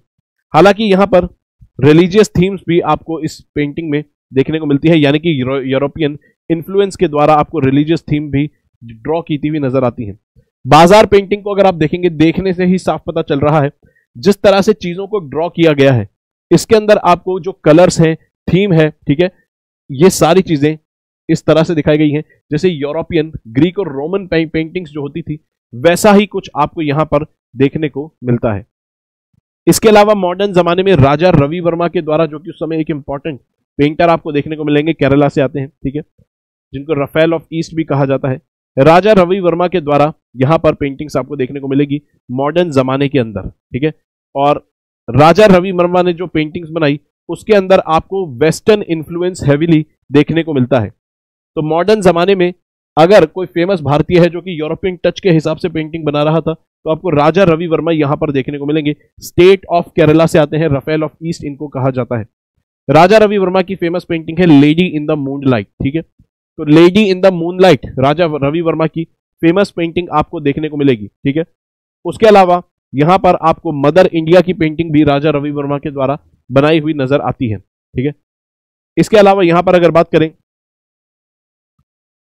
राजा रवि वर्मा के द्वारा और जो पेंटिंग्स बनाई गई थी, उसमें फ़ेमस है कि जब सीता हरण होता है, ठीक है, माता सीता का हरण होता है, उस सीन को भी राजा रवि वर्मा के द्वारा दर्शाया गया है। तो पेपर में पूछ सकता है कि इनमें से कौन सी जो पेंटिंग्स है, वो राजा रवि वर्मा की पेंटिंग है, उस चीज़ को यहाँ पर याद रखेंगे। तो ये जो पेंटिंग्स अभी हमने देखी मॉडर्न जमाने में, ये वो पेंटिंग्स है जहाँ पर आपको यूरोपियन इन्फ्लुएंस देखने को मिलता है। यूरोपियन इन्फ्लुएंस चाहे कंपनी पेंटिंग्स हो, चाहे बाज़ार पेंटिंग्स बाज़ार पेंटिंग्स हो हैविली यूरोपियन इन्फ्लुएंस आपको देखने को मिलता है, या फिर राजा रवि वर्मा की पेंटिंग्स हो, इन सब में आपको यूरोपियन इन्फ्लुएंस देखने को मिलता है, ठीक है? जिस तरह से पेंटिंग्स बनाई गई हैं, उसमें आपको यूरोपियन टच देखने को मिलता है। एक और स्कूल डेवलप हुआ इस जमाने में, जो कि रिएक्शनरी स्कूल था। रिएक्शनरी मतलब जो कि यूरोपियन जो टच आ रहा था पेंटिंग्स में, उसको कम करने या खत्म करने के ऊपर आधारित ये स्कूल आपको देखने को मिलेगा। आप कह सकते हैं कि स्वदेशी स्कूल ये आपको देखने को मिलता है, और बंगाल के अंदर ही डेवलप होता है, और यहाँ पर पेंटिंग 1940 के दौरान आपको बनती हुई नज़र आएँगी। और यहाँ पर बंगाल के अंदर पेंटिंग्स जो इस समय बनाई रिएक्शनरी तरीके से, या फिर यूरोपियन इन्फ्लुएंस को कम या खत्म करने वाली पेंटिंग्स वो आपको देखने को मिलेंगी किनके द्वारा? अभिनीन्द्र नाथ टैगोर। इसमें आपको फ़ेमस पेंटर देखने को मिलते हैं। अभिनीन्द्र नाथ टैगोर की फ़ेमस पेंटिंग्स आपको मिलेगी। अरेबियन नाइट सीरीज़ जो स्टोरी बुक है, इसके अंदर उनके द्वारा जो बनाई गई पेंटिंग्स थी, ये ग्लोबल लेवल पर फ़ेमस होती हैं। इसके अलावा स्वदेशी वैल्यूज़ जो है ये इनकॉर्पोरेट करने की पेंटिंग्स में कोश, कोशिश करते हैं और वेस्टर्न स्टाइल को कम या खत्म करने की कोशिश यहाँ पर की जाती है पेंटिंग्स के अंदर जिसमें फ़ेमस पेंटिंग है अवनीन्द्र नाथ के द्वारा भारत माता की जो पेंटिंग है भारत माता का चित्र। तो अवनीन्द्र नाथ टैगोर ने अरेबियन नाइट सीरीज़ में भी पेंटिंग बनाई थी। साथ में भारत माता की पेंटिंग जो है ये आपको दर्शाती है स्वदेशी तरीके से बनी हुई पेंटिंग्स यानी कि यूरोपियन इन्फ्लुएंस यहाँ पर कम करने की कोशिश की गई है पेंटिंग्स के अंदर। तो याद रखेंगे अवनीन्द्र नाथ टैगोर के द्वारा भारत माता की फ़ोटो बनाई गई थी। कंफ्यूज इससे नहीं करेंगे। यहाँ पर राजा रवि वर्मा ने मदर इंडिया की फ़ोटो बनाई थी, ठीक है? ना कि भारत माता की। भारत माता की किसने बनाई थी? अवनीन्द्र नाथ टैगोर ने, ठीक है? और अरेबियन नाइट सीरीज़ भी अवनीन्द्र नाथ टैगोर के द्वारा ही बनाई गई थी। और कौन से तरह की थीम थी? थीम क्या थी? थीम थी यहाँ पर इंडियन वैल्यूज़ पर आधारित पेंटिंग्स बनानी है, ना कि यूरोपियन टच यहाँ पर दिखाना है, यूरोपियन टच को खत्म यहाँ पर या फिर कम करना है पेंटिंग्स के अंदर। उसके अलावा एक और इंपॉर्टेंट पेंटर आपको दिखते हैं, नंदलाल बोस, जो कि इसी रिएक्शनरी स्कूल से आते हैं। और नंदलाल बोस वो व्यक्ति हैं, जिन्होंने भारत के संविधान में भी पेंटिंग्स ऐड की हैं। तो भारत के संविधान में पेंटिंग्स ऐड की जाएँगी किनके द्वारा? नंदलाल बोस के द्वारा। नंदलाल बोस के द्वारा एक फ़ेमस पेंटिंग आपको मिलेगी, जो है व्हाइट ऑन ब्लैक गांधी, ठीक है? तो पेपर में पूछ लेगा व्हाइट ऑन ब्लैक गांधी किसने बनाई थी? तो नंदलाल बोस के द्वारा बनाई गई थी, ठीक है? चलिए, और कॉन्स्टिट्यूशन के अंदर पेंटिंग्स नंदलाल बोस के द्वारा जोड़ी गई है। इसके अलावा रविंद्रनाथ टैगोर ने भी इस जमाने में कई पेंटिंग्स बनाई, जो कि इसी स्कूल के अंदर आएँगी कि हमें यूरोपियन इन्फ्लुएंस को कम करना है। और आप समझ भी सकते हैं कि 1940s का जमाना चल रहा है, ठीक है? 1940s और उसके बाद का जो जमाना है, यहाँ पर भारत में स्वतंत्रता आंदोलन बहुत ज़्यादा तेज हो चुका था। और यहाँ पर भारत में जितनी भी यूरोपियन या अंग्रेज़ों से जुड़ी हुई जितनी चीज़ें होंगी, उसके प्रति लोगों में गुस्सा होगा क्योंकि आज़ादी यहाँ पर लेनी, अब लोग जो थे बहुत तेज़ी से आगे बढ़ रहे थे। तो इसीलिए स्वदेशी चीज़ों पर ज़्यादा फोकस आपको देखने को मिलेगा और पेंटिंग्स पर भी किया गया फोकस तो ये कोई एक अलग चीज़ नहीं है। इसी कड़ी का हिस्सा, इसी आंदोलन का हिस्सा ये चीज़ आपको देखने को मिलती है। ठीक है, चलिए। उसके अलावा यहाँ पर यही पेंटिंग्स आपको देखने को मिलेंगी, जिसके अंदर रिएक्शनरी स्कूल में नाथ को याद रखेंगे और नंदलाल बोस को याद रखेंगे। इसके अलावा मॉडर्न जमाने की जो पेंटिंग्स है, इसमें एक और पेंटिंग्स मिलेगी क्यूबिस्ट स्टाइल ऑफ़ पेंटिंग्स ये क्यूबिस्ट स्टाइल ऑफ़ पेंटिंग जो है यूरोपियन इन्फ्लुएंस पर आधारित पेंटिंग है।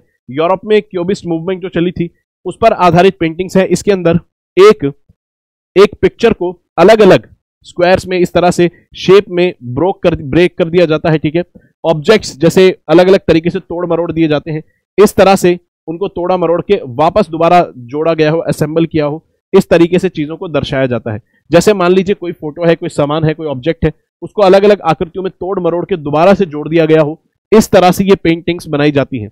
और एम एफ़ हुसैन आपको इसी स्कूल से आते हुए एक पेंटर दिखेंगे क्यूबिस्ट स्टाइल ऑफ़ पेंटिंग्स जिसमें ऑब्जेक्ट्स को तोड़ मरोड़ के दोबारा दोबारा ऑब्जेक्ट दोबारा उनको असेंबल किया हो, ऐसे दर्शाया जाता है। इसके अलावा प्रोग्रेसिव आर्टिस्ट ग्रुप आपको देखने को मिलेगा, जो कि उन्नीस और उसके बाद डेवलप होता है ये स्कूल ठीक है? और ये जो स्कूल है, ये भी मॉडर्न यूरोपियन स्कूल पर आधारित, यानी कि यूरोपियन वैल्यूज़ पर आधारित यूरोपियन टेक्निक पर आधारित स्कूल आपको देखने को मिलेगा, ठीक है? और इस स्कूल के फाउंडर जो है, वो फ्रांसिस न्यूटन सूजा है। लेकिन यहाँ पर आपको एस एच राजा जो है, इसमें आपको एक मेंबर देखने को मिलेंगे। एम एफ़ हुसैन इस स्कूल से भी जुड़े हुए थे, ठीक है? और इनकी पहली जो एग्जीबिशन लगी थी, वो 1948 में आपको देखने को मिलेगी। मुल्क राज आनंद के द्वारा यहाँ पर इनको पेट्रोनाइज किया गया था। हालाँकि आपको इतना याद रखने की ज़रूरत नहीं, बस आप इतना याद रखिए कि पेंटर जो है, इनके नाम आप याद रख सकते हैं कि किस स्कूल से आप ये जुड़े हुए हैं। एस एच रजा की पेंटिंग आप यहाँ पर देख सकते हैं। ठीक है? ये रही। अब यहाँ पर सबसे इंपॉर्टेंट जो पेंटिंग्स है, उनको यहाँ पर हम देखने वाले हैं। आपने कभी ना कभी ऐसी पेंटिंग्स अलग अलग जगहों पर देखी होगी। हो सकता है किसी एग्जीबिशन में देखी हो, किसी आर्ट गैलरी वगैरह में देखी हो, या हो सकता है टी शर्ट्स वगैरह पे भी आपने इस तरह के डिज़ाइन देखे हो। कहीं ना कहीं आपने इस तरह की पेंटिंग्स देखी होंगी, ठीक है? और इन पेंटिंग्स को अब हम यहाँ पर देखने वाले हैं। यह है फोक पेंटिंग्स और ये काफ़ी ज़्यादा इंपॉर्टेंट आपको देखने को मिलेंगी। यहाँ पर अब चीज़ें हैं रैंडम ठीक है? क्योंकि अब हम पढ़ेंगे फोक पेंटिंग्स और अलग अलग राज्यों में अलग अलग रीजन में होने वाली पेंटिंग्स को देखेंगे जो कि अब आपके आगे रैंडमली आएँगी, ठीक है? अब यहाँ पर कई सारी चीज़ें आपको याद रखनी पड़ेंगी। ये थोड़ा सा मुश्किल पार्ट है पेंटिंग्स का, क्योंकि यहाँ पर एक पर्टिकुलर थीम के अंदर आप चीज़ों को नहीं पढ़ रहे हैं, क्योंकि फोक पेंटिंग से अलग अलग रीजन में अलग अलग तरीके से वेरी आपको करती हुई नज़र आएँगी, ठीक है? थीम में काफ़ी वेरिएशन होगा, चीज़ें आपको इस तरह से देखने को मिलेंगी। ये है फोक पेंटिंग्स जब आप फोक पेंटिंग्स यहाँ पर चीज़ों को सबको पढ़ लेंगे, साथ में अभी उसके बाद जब आप इन पेंटिंग्स को देखेंगे, ये जो दो स्लाइड्स हैं, इनको देखकर आप पहचान जाएँगे कौन सी पेंटिंग किस तरीके की पेंटिंग है और किस पेंटिंग का क्या नाम है, ठीक है? ये आप समझ जाएँगे जब अब यहाँ से हम शुरू करते हैं। कहता है, पहली है मधुबनी पेंटिंग्स ठीक है? मधुबनी पेंटिंग्स जो है, इसको मिथिला पेंटिंग्स भी कहा जाता है और ये आपको जो उत्तर प्रदेश और बिहार का तराई रीजन है, जो कि नेपाल के साथ लगता है, उस एरिया में आपको करती हुई नज़र आती है, ठीक है? और यहाँ पर जो कॉमन थीम आपको देखने को मिलती है, वो रिलीजियस थीम देखने को मिलती है, ठीक है? तो रिलीजियस थीम आपको मिलेगी बेसिकली मधुबनी पेंटिंग्स के अंदर। और ये ड्रॉ की जाती थी, जैसे अगर किसी बच्चे का जन्म हुआ है, शादी है, कोई फेस्टिवल है, उस तरीके से इनको ड्रॉ किया जाता था इस पेंटिंग को। और ये जो पेंटिंग्स हैं, दीवार पर की जाती हैं, शुरुआत में चावल के पेस्ट से की जाती थी वेजिटेबल कलर से की जाती थी, और जो नीचे बेस होता था, वो गाय के गोबर का और मिट्टी का आपको देखने को मिलेगा बेस तैयार किया जाता था, उसके ऊपर पेंटिंग की जाती थी। लेकिन अब ये जो पेंटिंग्स है, ठीक है, मधुबनी पेंटिंग जो है, अब ये कपड़े पर की जाती है, कागज़ पर की जाती है बोर्ड पर की जाती है, और अब मॉडर्न तरीकों से मॉडर्न पेंट से की जाती है, ठीक है? ठीक है? लेकिन अब देखेंगे, आप पेपर पे क्लॉथ पे अलग अलग तरीकों से ये पेंटिंग की जाती है, लेकिन ओरिजिनली ये जो पेंटिंग्स थी, ये घर की दीवारों पर की जाती थी, ठीक है? और महिलाएँ इसको पेंट करती थी, गाय का गोबर का लेप लगा के मिट्टी का इस तरीके से, ठीक है? और फ़ेमस जो एक इंपॉर्टेंट कॉमन फीचर मिलेगा, वो कि डबल लाइन बॉर्डर्स आपको देखने को मिलेगी। और ये जो पेंटिंग्स है, इनका ओरिजिन माना जाता है कि रामायण के जमाने से इनका ओरिजिन इन पेंटिंग्स का माना जाता है। और ज़्यादातर महिलाएँ जो है, इस पेंटिंग को किया करती थी। दोस्तों, आगे बढ़ने से पहले फिर एक इंपॉर्टेंट जानकारी यहाँ पर देख लेते हैं। जो भी दोस्त कॉम्प्रीहेंसिव बैच के अंदर पार्टिसिपेट नहीं करना चाहते हैं, और चाहते हैं कि पहले एनसीआरटीज पढ़कर अपनी फाउंडेशन को स्ट्रॉन्ग कर लें तो उनके लिए एक सेपरेट बैच लॉन्च किया गया है, एक स्पेशल कोर्स यहाँ पर लॉन्च किया गया है। और ऐसे दोस्त यहाँ पर देख सकते हैं, छठी से बारहवीं तक की एनसीआरटीज आप मेरे साथ पढ़ सकते हैं, जिसके अंदर मेरे साथ आप हिस्ट्री पढ़ेंगे और बहुत डिटेल में चीज़ों को पढ़ते हैं एक एक चीज़ को समझकर पढ़ते हैं यूपीएससी के परस्पेक्टिव से पढ़ते हैं एग्जामिनर कैसे क्वेश्चन बना सकता है, कैसे फंसा सकता है, सारी चीज़ों को ध्यान में रखते हैं। सिर्फ़ टू ट्रिपल नाइन जो कि एक अफोर्डेबल प्राइस रेंज है, इसमें इस कोर्स को लॉन्च किया गया है ताकि सब लोग इस बैच के अंदर एनरोल कर सके, खासतौर पर जो कॉलेज में है दोस्त। अगर वो चाहते हैं अपनी फाउंडेशन कॉलेज में रहते रहते स्ट्रॉन्ग कर ले तो आपके लिए बहुत ज़्यादा अच्छा ये कोर्स आपके लिए साबित हो सकता है, ठीक है? और ऑलमोस्ट सारी सब्जेक्ट इसके अंदर कवर हो जाते हैं, जितनी एनसीआरटीज है, छठी से बारहवीं तक की। अगर इस बैच के अंदर एनरोल करना है तो कोड लगाएँगे एस एम के लाइव बाकी जो टॉप एजुकेटर्स हैं, ये भी आपको ज्योग्राफी पॉलिटी इकोनॉमी बाकी सब्जेक्ट आपको यहाँ पर कराएँगे। अब अगर आप यहाँ पर देखें 2007 के अंदर ज्योग्राफिकल इंडिकेटर टैग इस पेंटिंग को मिल चुका है जीआई टैग मिल चुका है, और ये जो पेंटिंग है, मधुबनी पेंटिंग आप यहाँ पर देख सकते हैं, ठीक है? शुरुआत में दीवार पर की जाती थी ट्रेडिशनली लेकिन अब पेपर पे, गत्ते पे, इन सब चीज़ों पे की जाती है। आपने सुना होगा शायद जो टॉपर टीना डाबी है, वो मधुबनी पेंटिंग भी बनाती है, ठीक है? तो वहाँ पे अगर यहाँ नहीं सुना तो वहाँ पर आपने ज़रूर सुना होगा, उनकी हॉबी मधुबनी पेंटिंग बनाने है तो वो मधुबनी पेंटिंग ये है, जिसकी वो बात कर रही थी, ठीक है? अगली जो पेंटिंग है फोक पेंटिंग ठीक है? अगली जो फोक पेंटिंग है, वो आप देखेंगे तो यहाँ पर आप देख सकते हैं मधुबनी पेंटिंग यहाँ पर कहाँ पर है? ये रही यहाँ पर मधुबनी पेंटिंग चलिए। अगली, अगर यहाँ पर पेंटिंग देखें तो वो आपको मिलती है पत्ता चित्र, ठीक है? पट्ट चित्र आपको देखने को मिलती है। ये पट्ट चित्र जो पेंटिंग है ट्रेडिशनली ओडिशा में की जाती थी, ठीक है? और ये जो नाम आया है पट्टा चित्र, ये आया है कि जिस तरीके से की जाती थी, कपड़े पर की जाती थी, और इसको कहा जाता था पट्टा, ठीक है? पट्टा कहा जाता था या फिर पट्टा कहा जाता था। और कहता है कि कोई भी पेंसिल और चारकोल इसमें यूज़ नहीं होती, बल्कि यहाँ पर ब्रश इस्तेमाल होता है, ठीक है? इस पेंटिंग में आउटलाइंस ड्रॉ करने के लिए, ठीक है? और उसके अलावा यहाँ पर कहता है कि भाई, एक बार यहाँ पर फाइन लाइंस बन जाती है, उसके बाद यहाँ पर कोटिंग की जाती है लेकर की to give it glossy finish ठीक है? लैक या फिर जिसको लाक बोलते हैं लैक उसकी कोटिंग इस पेंटिंग के ऊपर की जाती है, जब एक बार पेंटिंग तैयार हो जाती है। तो याद रखेंगे, कौन सी पेंटिंग है जिसके ऊपर लैकर की लेयर चढ़ाई जाती है? वो है पट्टा चित्र। कहाँ पर की जाती है? ओडिशा के अंदर की जाती है। याद रखेंगे, ये जितनी भी फोक पेंटिंग्स पढ़ रहे हैं, इसके अंदर तीन चीज़ें याद रखेंगे। पहली बात लोकेशन कहाँ पर पेंटिंग की जाती है? दूसरा पेंटिंग की थीम क्या है? तीसरा पेंटिंग का कोई इंपॉर्टेंट अगर फीचर है तो उसको याद रखेंगे। इन तीन चीज़ों को आइडेंटिफाई करना है हर पेंटिंग को पढ़ते हुए, ठीक है? तो यहाँ पर लैक एक इंपॉर्टेंट फीचर है कि लैक की कोटिंग यहाँ पर की जाती है। तो यहाँ पर देखेंगे पट्टा चित्र में कहाँ पर की जाती है? ओडिशा में की जाती है। चलिए।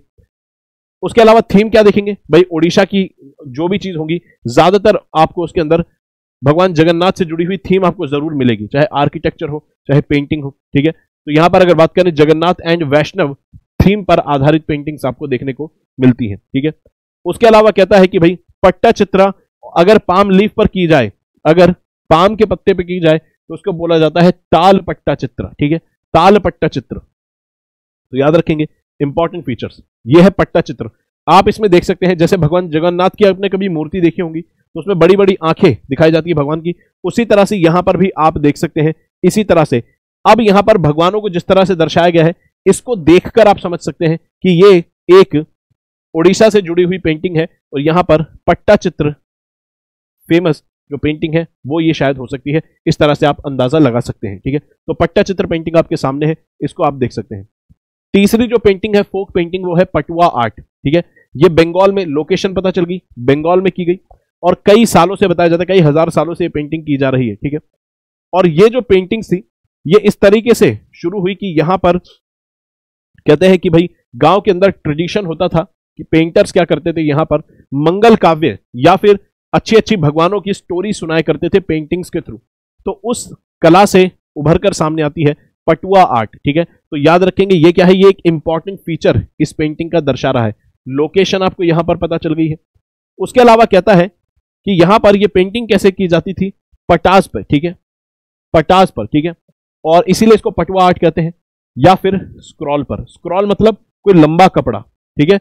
अब अगर यहाँ पर बात करें, कहता है कि भाई जो कि देखने में भी हमें चीज़ यहाँ पर देखने को मिलती है, ठीक है? स्क्रॉल पर पेंटर या फिर इसको पटवा कहते थे, ठीक है? और ज़ाहिर सी बात है, यहाँ पर कहता है कि भाई, ये स्टोरीज सुनाते थे और बदले में खाना और पैसा मिलता था। अब एक चीज़ यहाँ पर आपको पता चलेगी स्टोरी अगर सुनाई जा रही है तो यहाँ पर एक लंबा कपड़े की ज़रूरत पड़ेगी। उस लंबे कपड़े पर आप अलग अलग सीन डिपिक्ट कर सकते हैं। तो जो भी ऐसी पेंटिंग्स होंगी, जो कि लंबे कपड़े पर की जाती हैं, आप देखेंगे ज़्यादातर वो किसी खास प्रकार की स्टोरी को सुनाने के लिए इस्तेमाल हो रही है। और भारत में पुराने जमाने में ऐसे पेंटिंग्स बनती थी जो कि लंबे कपड़े पर की जाती थी, जिस पर स्टोरीज दर्शाई जाती थी। ऐसी पेंटिंग्स को कहा जाता है स्क्रॉल पेंटिंग स्क्रॉल पेंटिंग्स ठीक है? ऐसी पेंटिंग्स को स्क्रॉल पेंटिंग्स कहा जाता है। तो यहाँ पर पटुआ आर्ट जो है, ये क्या है? ये एक प्रकार की स्क्रॉल पेंटिंग आपको देखने को मिलती है, ठीक है? तो पटुआ आर्ट एक तरह की स्क्रॉल पेंटिंग है। अब ज़ाहिर सी बात है, ज़्यादातर ये पेंटिंग्स आपको कैसी देखने को मिलेगी? ज़्यादातर आपको ट्रेडिशनली रिलीजियस थीम पर आधारित पेंटिंग देखने को मिलेगी। लेकिन अब बताया जाता है कि पेपर पर भी शीट्स पर भी इन पेंटिंग्स को किया जाता है, ठीक है? चलिए। उसके अलावा अगर बात करें, ये आपको वेस्ट बंगाल के रीजन में मिदनापुर डिस्ट्रिक्ट में और फिर बाद में आपको चौबीस परगना रीजन में फ़ेमस होती हुई नज़र आती है। तो पटवा आर्ट जो है, वो आपको यहाँ पर, ये कागज़ पर बनी हुई पेंटिंग है, लेकिन ट्रेडिशनली बताया जाता है ये भी स्क्रॉल पेंटिंग्स हुआ करती थी। मंगल काव्य कहानी सुनाने के लिए इस्तेमाल होती थी, ठीक है? तो ये एक यूनिक फीचर है इस पेंटिंग का, याद रखेंगे कि भले ही अब आपको इस तरह से दिख रही है, लेकिन एक स्क्रॉल पेंटिंग हुआ करती थी। उसके अलावा कहता है काली घाट पेंटिंग जो कि नाइनटीन सेंचुरी यानी एटीन में डिवेलप होती है। और ये कैसे डिवेलप होती है? दरअसल कोलकाता के अंदर जो रूरल माइग्रेंट आते हैं काम करने, ठीक है? जो कालीघाट टेंपल के आसपास अपने आप को सेटल करते हैं, ठीक है? बाद में कलकत्ता बन गई जगह। यहाँ पर जो माइग्रेंट वर्कर्स काम करने आते हैं, ये यहाँ पर पेंटिंग्स बनाते जो है, ये कालीघाट पेंटिंग यहाँ पर की गई। और यहाँ पर कहता है कि वाटर कलर्स का इस्तेमाल हुआ था। पेपर पर यह पेंटिंग बनाई जाती थी और ब्रशेस का इस्तेमाल होता था इन पेंटिंग्स में। किसका ब्रशेस का इस्तेमाल? गाय के बछड़े के बच्चों का और उसके अलावा स्क्वेरल यानी कि जो गिलहरी होती है, गिलहरी के बालों से यहाँ पर ब्रश जो है उसको बनाया जाता था। और यहाँ पर कहता है कि रिलीजियस थीम्स आपको देखने को मिलेंगी, ठीक है? उसके अलावा ओवर द टाइम यहाँ पर सोशल चीज़ें भी दिखाई जाने लगी इस पेंटिंग के अंदर। ज़ाहिर सी बात है माइग्रेंट लोग जो आ रहे हैं, वो अपना स्ट्रगल चीज़ों को भी पेंटिंग के थ्रू दर्शाएँगे। तो यहाँ पर कालीघाट पेंटिंग जो है, ये माइग्रेंट वर्कर्स के द्वारा बनाई गई पेंटिंग है। कोलकाता में डेवलप होती है, इसके इंपॉर्टेंट फीचर्स को याद रखेंगे, ठीक है? और कहता है कि ये पहली अपने आप में इस तरह की पेंटिंग्स है, जो कि माइग्रेंट वर्कर्स और बाकी जो लोग हैं उनके सेंटिमेंट्स को दर्शाने वाली पेंटिंग आपको सोशल लेवल की चीज़ों को दर्शाने वाली पेंटिंग देखने को मिलती है। कालीघाट पेंटिंग का आपको एक फ़ोटो यहाँ पर देखने को मिलती है। यह कालीघाट पेंटिंग ठीक है? चलिए। उसके अलावा है पैथकर पेंटिंग पैथकर पैथकर पेंटिंग आपको ट्राइबल पेंटिंग यानी कि ट्राइबल लोगों के द्वारा झारखंड में की जाने वाली पेंटिंग मिलेगी। और ये भी एक प्रकार की स्क्रॉल पेंटिंग है ठीक है? ये भी एक प्रकार की स्क्रॉल पेंटिंग है यानी कि इससे भी स्टोरीज वगैरह दर्शाने के लिए इस्तेमाल हुआ आ, कर, किया जाता होगा ठीक है? चलिए। और ये जो पेंटिंग है, कहता है कि ओल्ड फॉर्म ऑफ़ पेंटिंग जिसका कल्चरल एसोसिएशन दिखेगा माँ मनसा से one of the most popular goddesses in the tribal household याद रखेंगे पेपर में आपसे पूछ लेगा कि इनमें से कौन सी पेंटिंग है जो कि गॉडेस माँ मनसा से एसोसिएटेड है। ठीक है? कौन सी पेंटिंग है जो कि माँ मनसा से एसोसिएटेड है? तो वो है पैथकर पेंटिंग और ये एक ट्राइबल लोगों के द्वारा की जाने वाली पेंटिंग आपको देखने को मिलेगी। अलग से गॉडेस का नाम मेंशनड है तो यहाँ पर आप भी अलग से इसको याद रखने की कोशिश करेंगे, ठीक है? अलग से नाम मेंशन है तो अलग से याद रखने की पूरी कोशिश करेंगे, ठीक है? और एक और इंपॉर्टेंट चीज़, इस पेंटिंग की जो आपको थीम मिलेगी, वो भी बड़ी यूनिक है। वो क्या है कि लाइफ आफ्टर डेथ कि मरने के बाद का कैसा जीवन होगा, उस पर आधारित ये पेंटिंग है। तो बड़ी यूनिक थीम है। बाकी पेंटिंग्स में आपको देखने को क्या मिलेगा? ज़्यादातर रिलीजियस थीम लेकिन यहाँ पर एक ट्राइबल पेंटिंग है जो लाइफ आफ्टर डेथ क्यों? के ऊपर आधारित यहाँ पर पेंटिंग्स आपको देखने को मिलती है। तो उसका नाम क्या है? पैथकर पेंटिंग झारखंड में होती है। माँ मनसा गॉडेस जो है, उनको उनके ऊपर आधारित है और यहाँ पर लाइफ आफ्टर डेथ को दर्शाने वाली पेंटिंग्स है। इसके अलावा छठी पेंटिंग है कलमकारी पेंटिंग्स ठीक है? कलमकारी जो पेंटिंग है, इसका नाम जो डिवेलप होता है, कलम से डिवेलप होता है, इसका मतलब पेन ठीक है? और इसमें कौन सा पेन इस्तेमाल होता था? बैम्बू बाँस से बना हुआ शार्प पॉइंटेड पेन इस्तेमाल होता था। वेजिटेबल कलर्स यहाँ पर इस्तेमाल होते थे और इसमें कॉटन के कपड़े पर की जाने वाली पेंटिंग होती थी, कलमकारी पेंटिंग ठीक है? चलिए। और ये आपको आंध्र प्रदेश में देखने को मिलेगी, ठीक है? आंध्र प्रदेश में बेसिकली मछली मछलीपट्टनम से डेवलप होती है और यहाँ पर फ्री हैंड से चीज़ों को ड्रॉ किया जाता था और ज़्यादातर इसकी थीम भी आपको रिलीजियस देखने को मिलेगी, ठीक है? अगर यहाँ पर आप देखें यह है कलमकारी पेंटिंग ठीक है, जो कि आंध्र प्रदेश में डेवलप होती हुई आपको नज़र आती है। इसके अलावा आपको एक और पेंटिंग देखने को मिलेगी, वो है वर्ली पेंटिंग और वर्ली पेंटिंग के बारे में बताया जाता है कि इसका जो ट्रेडिशन है, बहुत हज़ारों साल पुराना है। 2500 से 3000 बीसी के आसपास से ये पेंटिंग आपको डेवलप होती हुई नज़र आएँगी और लगभग आप कह सकते हैं चार, साढ़े चार हज़ार साल पुरानी चीज़ें आपको यहाँ पर देखने को मिलती हैं। और ये जो यहाँ पर अगर बात करें महाराष्ट्र के इंडिजिनस पीपल जो है, लोग जो हैं, उनके द्वारा ये पेंटिंग बनाई जाती है। महाराष्ट्र और गुजरात के रीजन के आसपास इनको वर्ली कहा जाता है, वर्ली। लोगों को इनको वर्ली कहा जाता है, जो कि इंडिजिनस लोग हैं, गुजरात और महाराष्ट्र के रीजन में, और यहाँ पर पेंटिंग बनाई जाती है, ठीक है? और कहता है कि ये जो पेंटिंग्स हैं, ये भीम बेटका में मिलने वाली जो दीवारों पर की गई पेंटिंग है, देखिए मुरल लिखा है। मुरल मतलब दीवार पर की जाने वाली पेंटिंग अब वो सिंपल है या सोफिस्टिकेटेड है, वो बात अलग है। अगर गुप्ता जमाने की पेंटिंग को बात करें तो वो सोफिस्टिकेटेड है। भीम बेटका में प्री हिस्टोरिक पेंटिंग जो है, वो सिंपल पेंटिंग है। तो मुरल पेंटिंग जो आपको भीम बेटका की गुफाओं में मिलती है, भीम बेटका की गुफाओं में मुरल पेंटिंग का मतलब है दीवार पर मिलने वाली पेंटिंग तो उसमें आपको कैसे आकृतियाँ दिखती है? इंसानों को ऐसे दर्शाया गया है, ठीक है?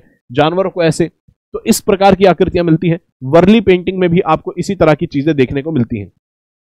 अगर आप देखेंगे, यह है वर्ली पेंटिंग और आपने कई बार टी शर्ट्स वगैरह पर भी अलग अलग जगहों पर भी ऐसे पैटर्न देखे होंगे। तो आप देख सकते हैं सिंपल आकृतियों से चीज़ों को दर्शाया गया है, ठीक है? तो यहाँ पर यह आपको देखने को मिलती है। भीम बेटका की गुफाओं से क्लोज रिजेंबलेंस आपको यहाँ पर देखने को मिलती है।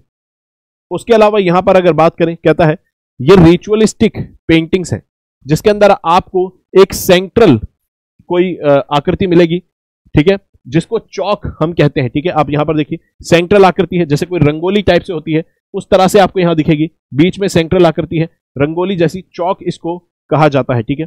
चौक इसको कहा जाता है और इसके बाद फिर यहाँ पर आपको अलग अलग सीन जो है उसको दर्शाए जाते हैं, ठीक है? फिशिंग हंटिंग इस तरह से देखने को मिलेगी, ठीक है? उसके अलावा यहाँ पर गॉडेसेस जो है उनको दर्शाया जाता है, ठीक है? और ये जो पेंटिंग्स है, ये ट्रेडिशनली दीवारों पर की जाती थी लेकिन अब आपको देखने को मिलेगा अलग अलग जगहों पर भी इस पेंटिंग को किया जाता है, ठीक है? तो यहाँ पर जो ये पेंटिंग्स है, ये आपको बेसिक ग्राफिक्स के द्वारा ट्राइंगल सर्कल और स्क्वायर के द्वारा डिपेक्ट की जाती थी और दीवारों पर की जाने वाली पेंटिंग आपको देखने को मिलेगी।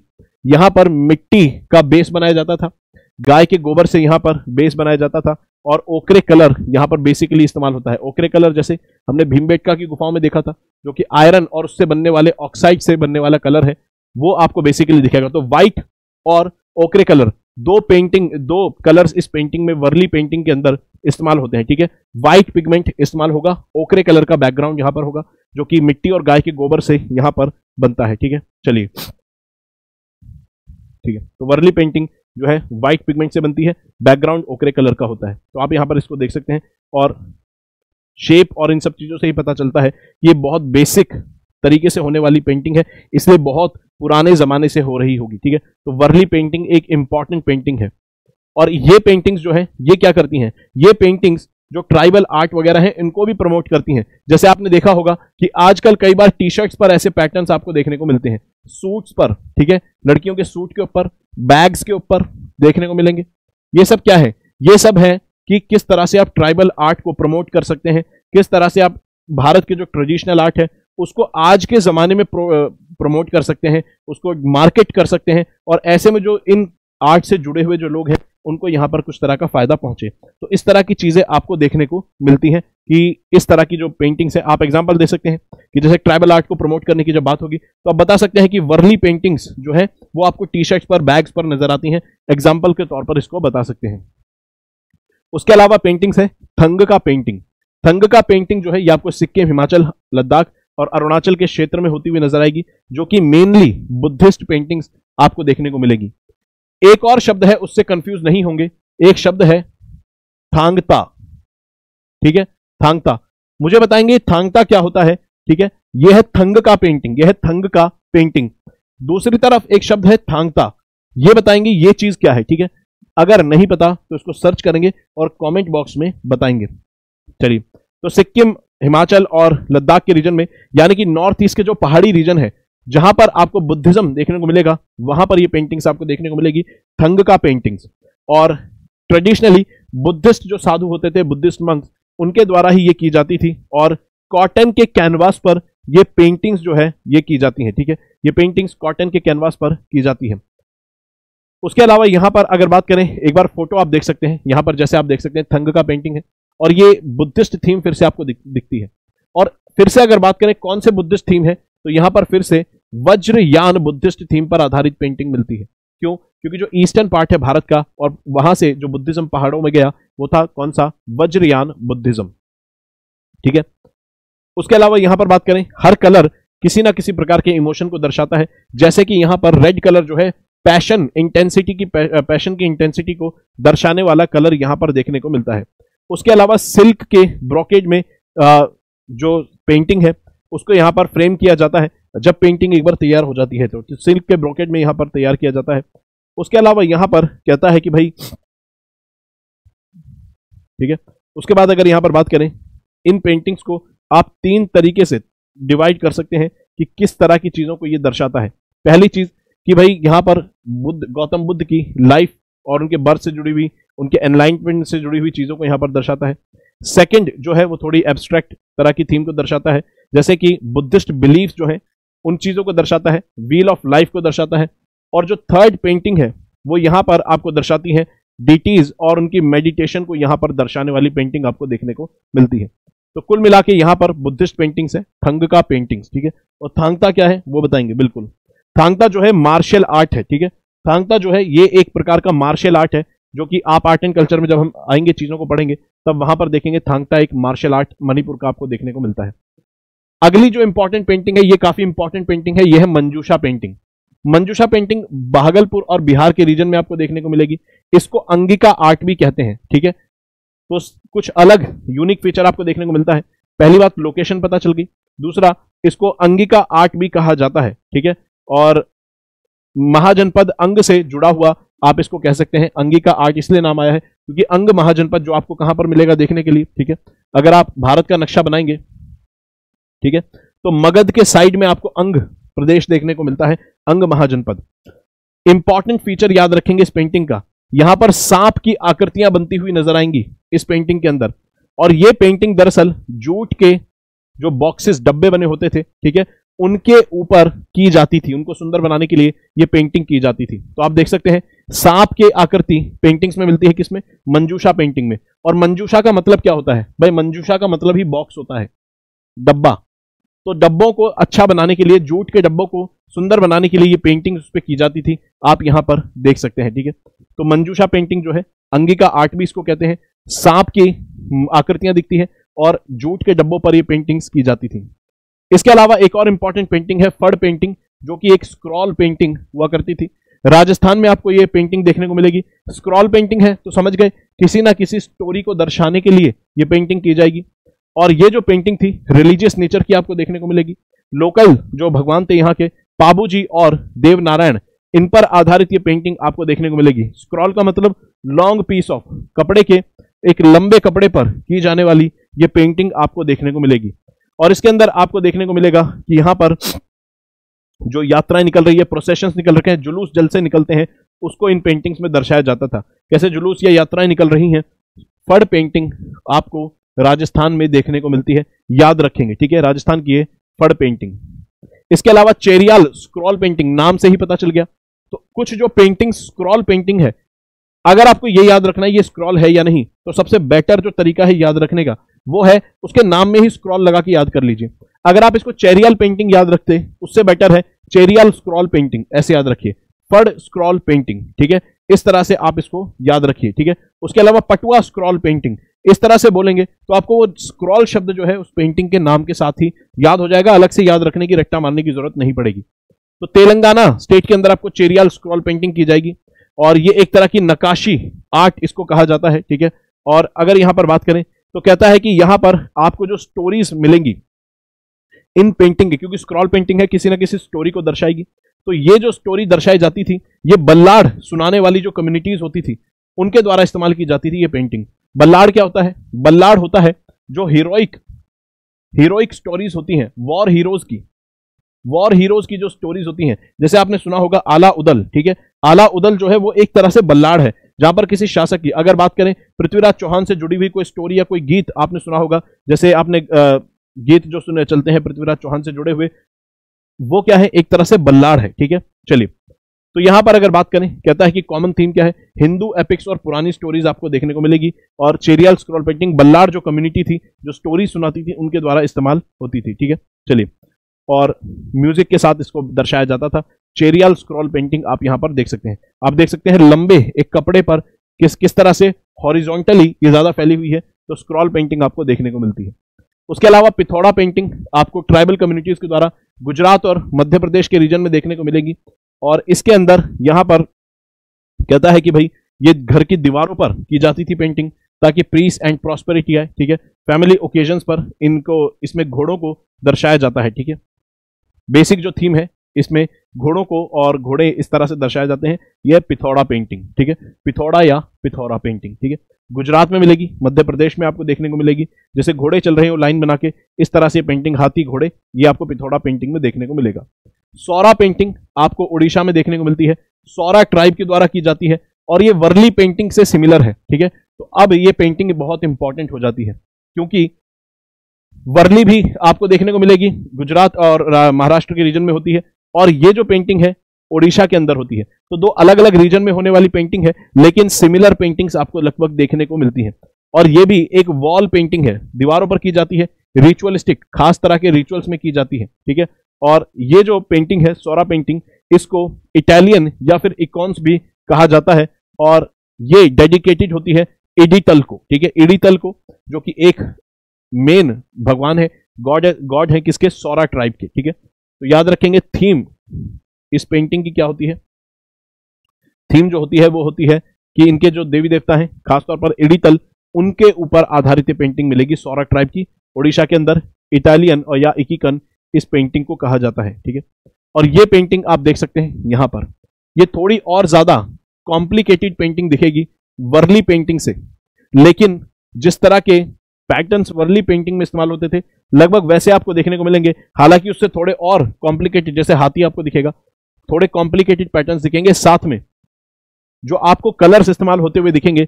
जैसे कि यहाँ पर अगर बोले, ओकरे कलर बैकग्राउंड में मिलेगा और उसके ऊपर व्हाइट कलर का इस्तेमाल करके पेंटिंग को बनाया गया है, ठीक है? तो वर्ली पेंटिंग जैसी थी, सौरा पेंटिंग में लगभग वैसी मिलती है। हालाँकि सौरा पेंटिंग ज़्यादा कॉम्प्लिकेटेड और सोफिस्टिकेटेड आपको देखने को मिलती है, ठीक है? तो यहाँ पर वही आपको देखने को मिलेगा।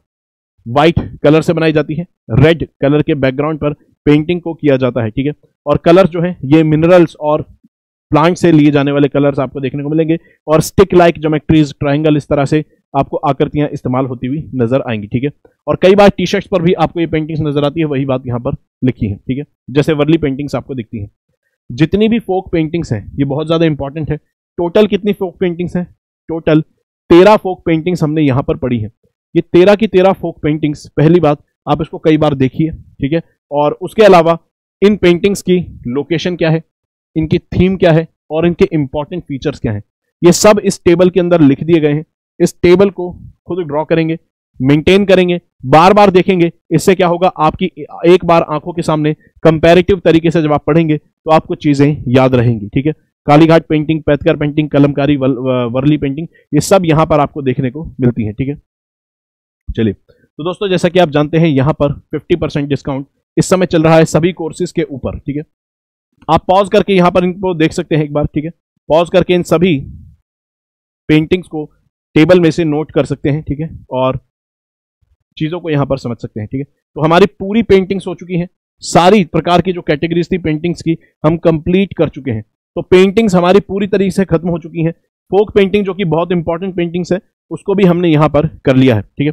तो दोस्तों 50 परसेंट डिस्काउंट अभी सभी कॉम्प्रिहेंसिव बैचेस पर चल रहा है और छह महीने तक कोर्सेज भी आपका एक्स्ट्रा चलेगा। अगर आपको इसमें एनरोल करना है तो कोड लगाना होगा एस एम के लाइव और ये जो कोर्सेज हैं, ये चाहे हिंदी मीडियम के हो इंग्लिश मीडियम के हो, या बाइलिंगवल सब पर ये ऑफ़र आपको देखने को मिलता है। कोड आपको लगाना होगा एस एम के लाइव ये बाइलिंगवल कोर्स है। उसके अलावा लक्ष्य बैच आपको यहाँ पर देखने को मिलता है, ठीक है?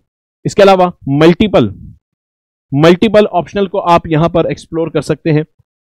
सिंगल सब्सक्रिप्शन से, उसको भी आप यहाँ पर देख सकते हैं और यहाँ पर कोड लगाना होगा एस एम के लाइव ठीक है? चलिए। तो दोस्तों आई होप वीडियो अच्छी लगी और वीडियो अगर आपके काम की है तो वीडियो को लाइक करेंगे, चैनल को सब्सक्राइब करेंगे, पढ़ते रहेंगे, अपना ख्याल रखेंगे। जय हिंद दोस्तों।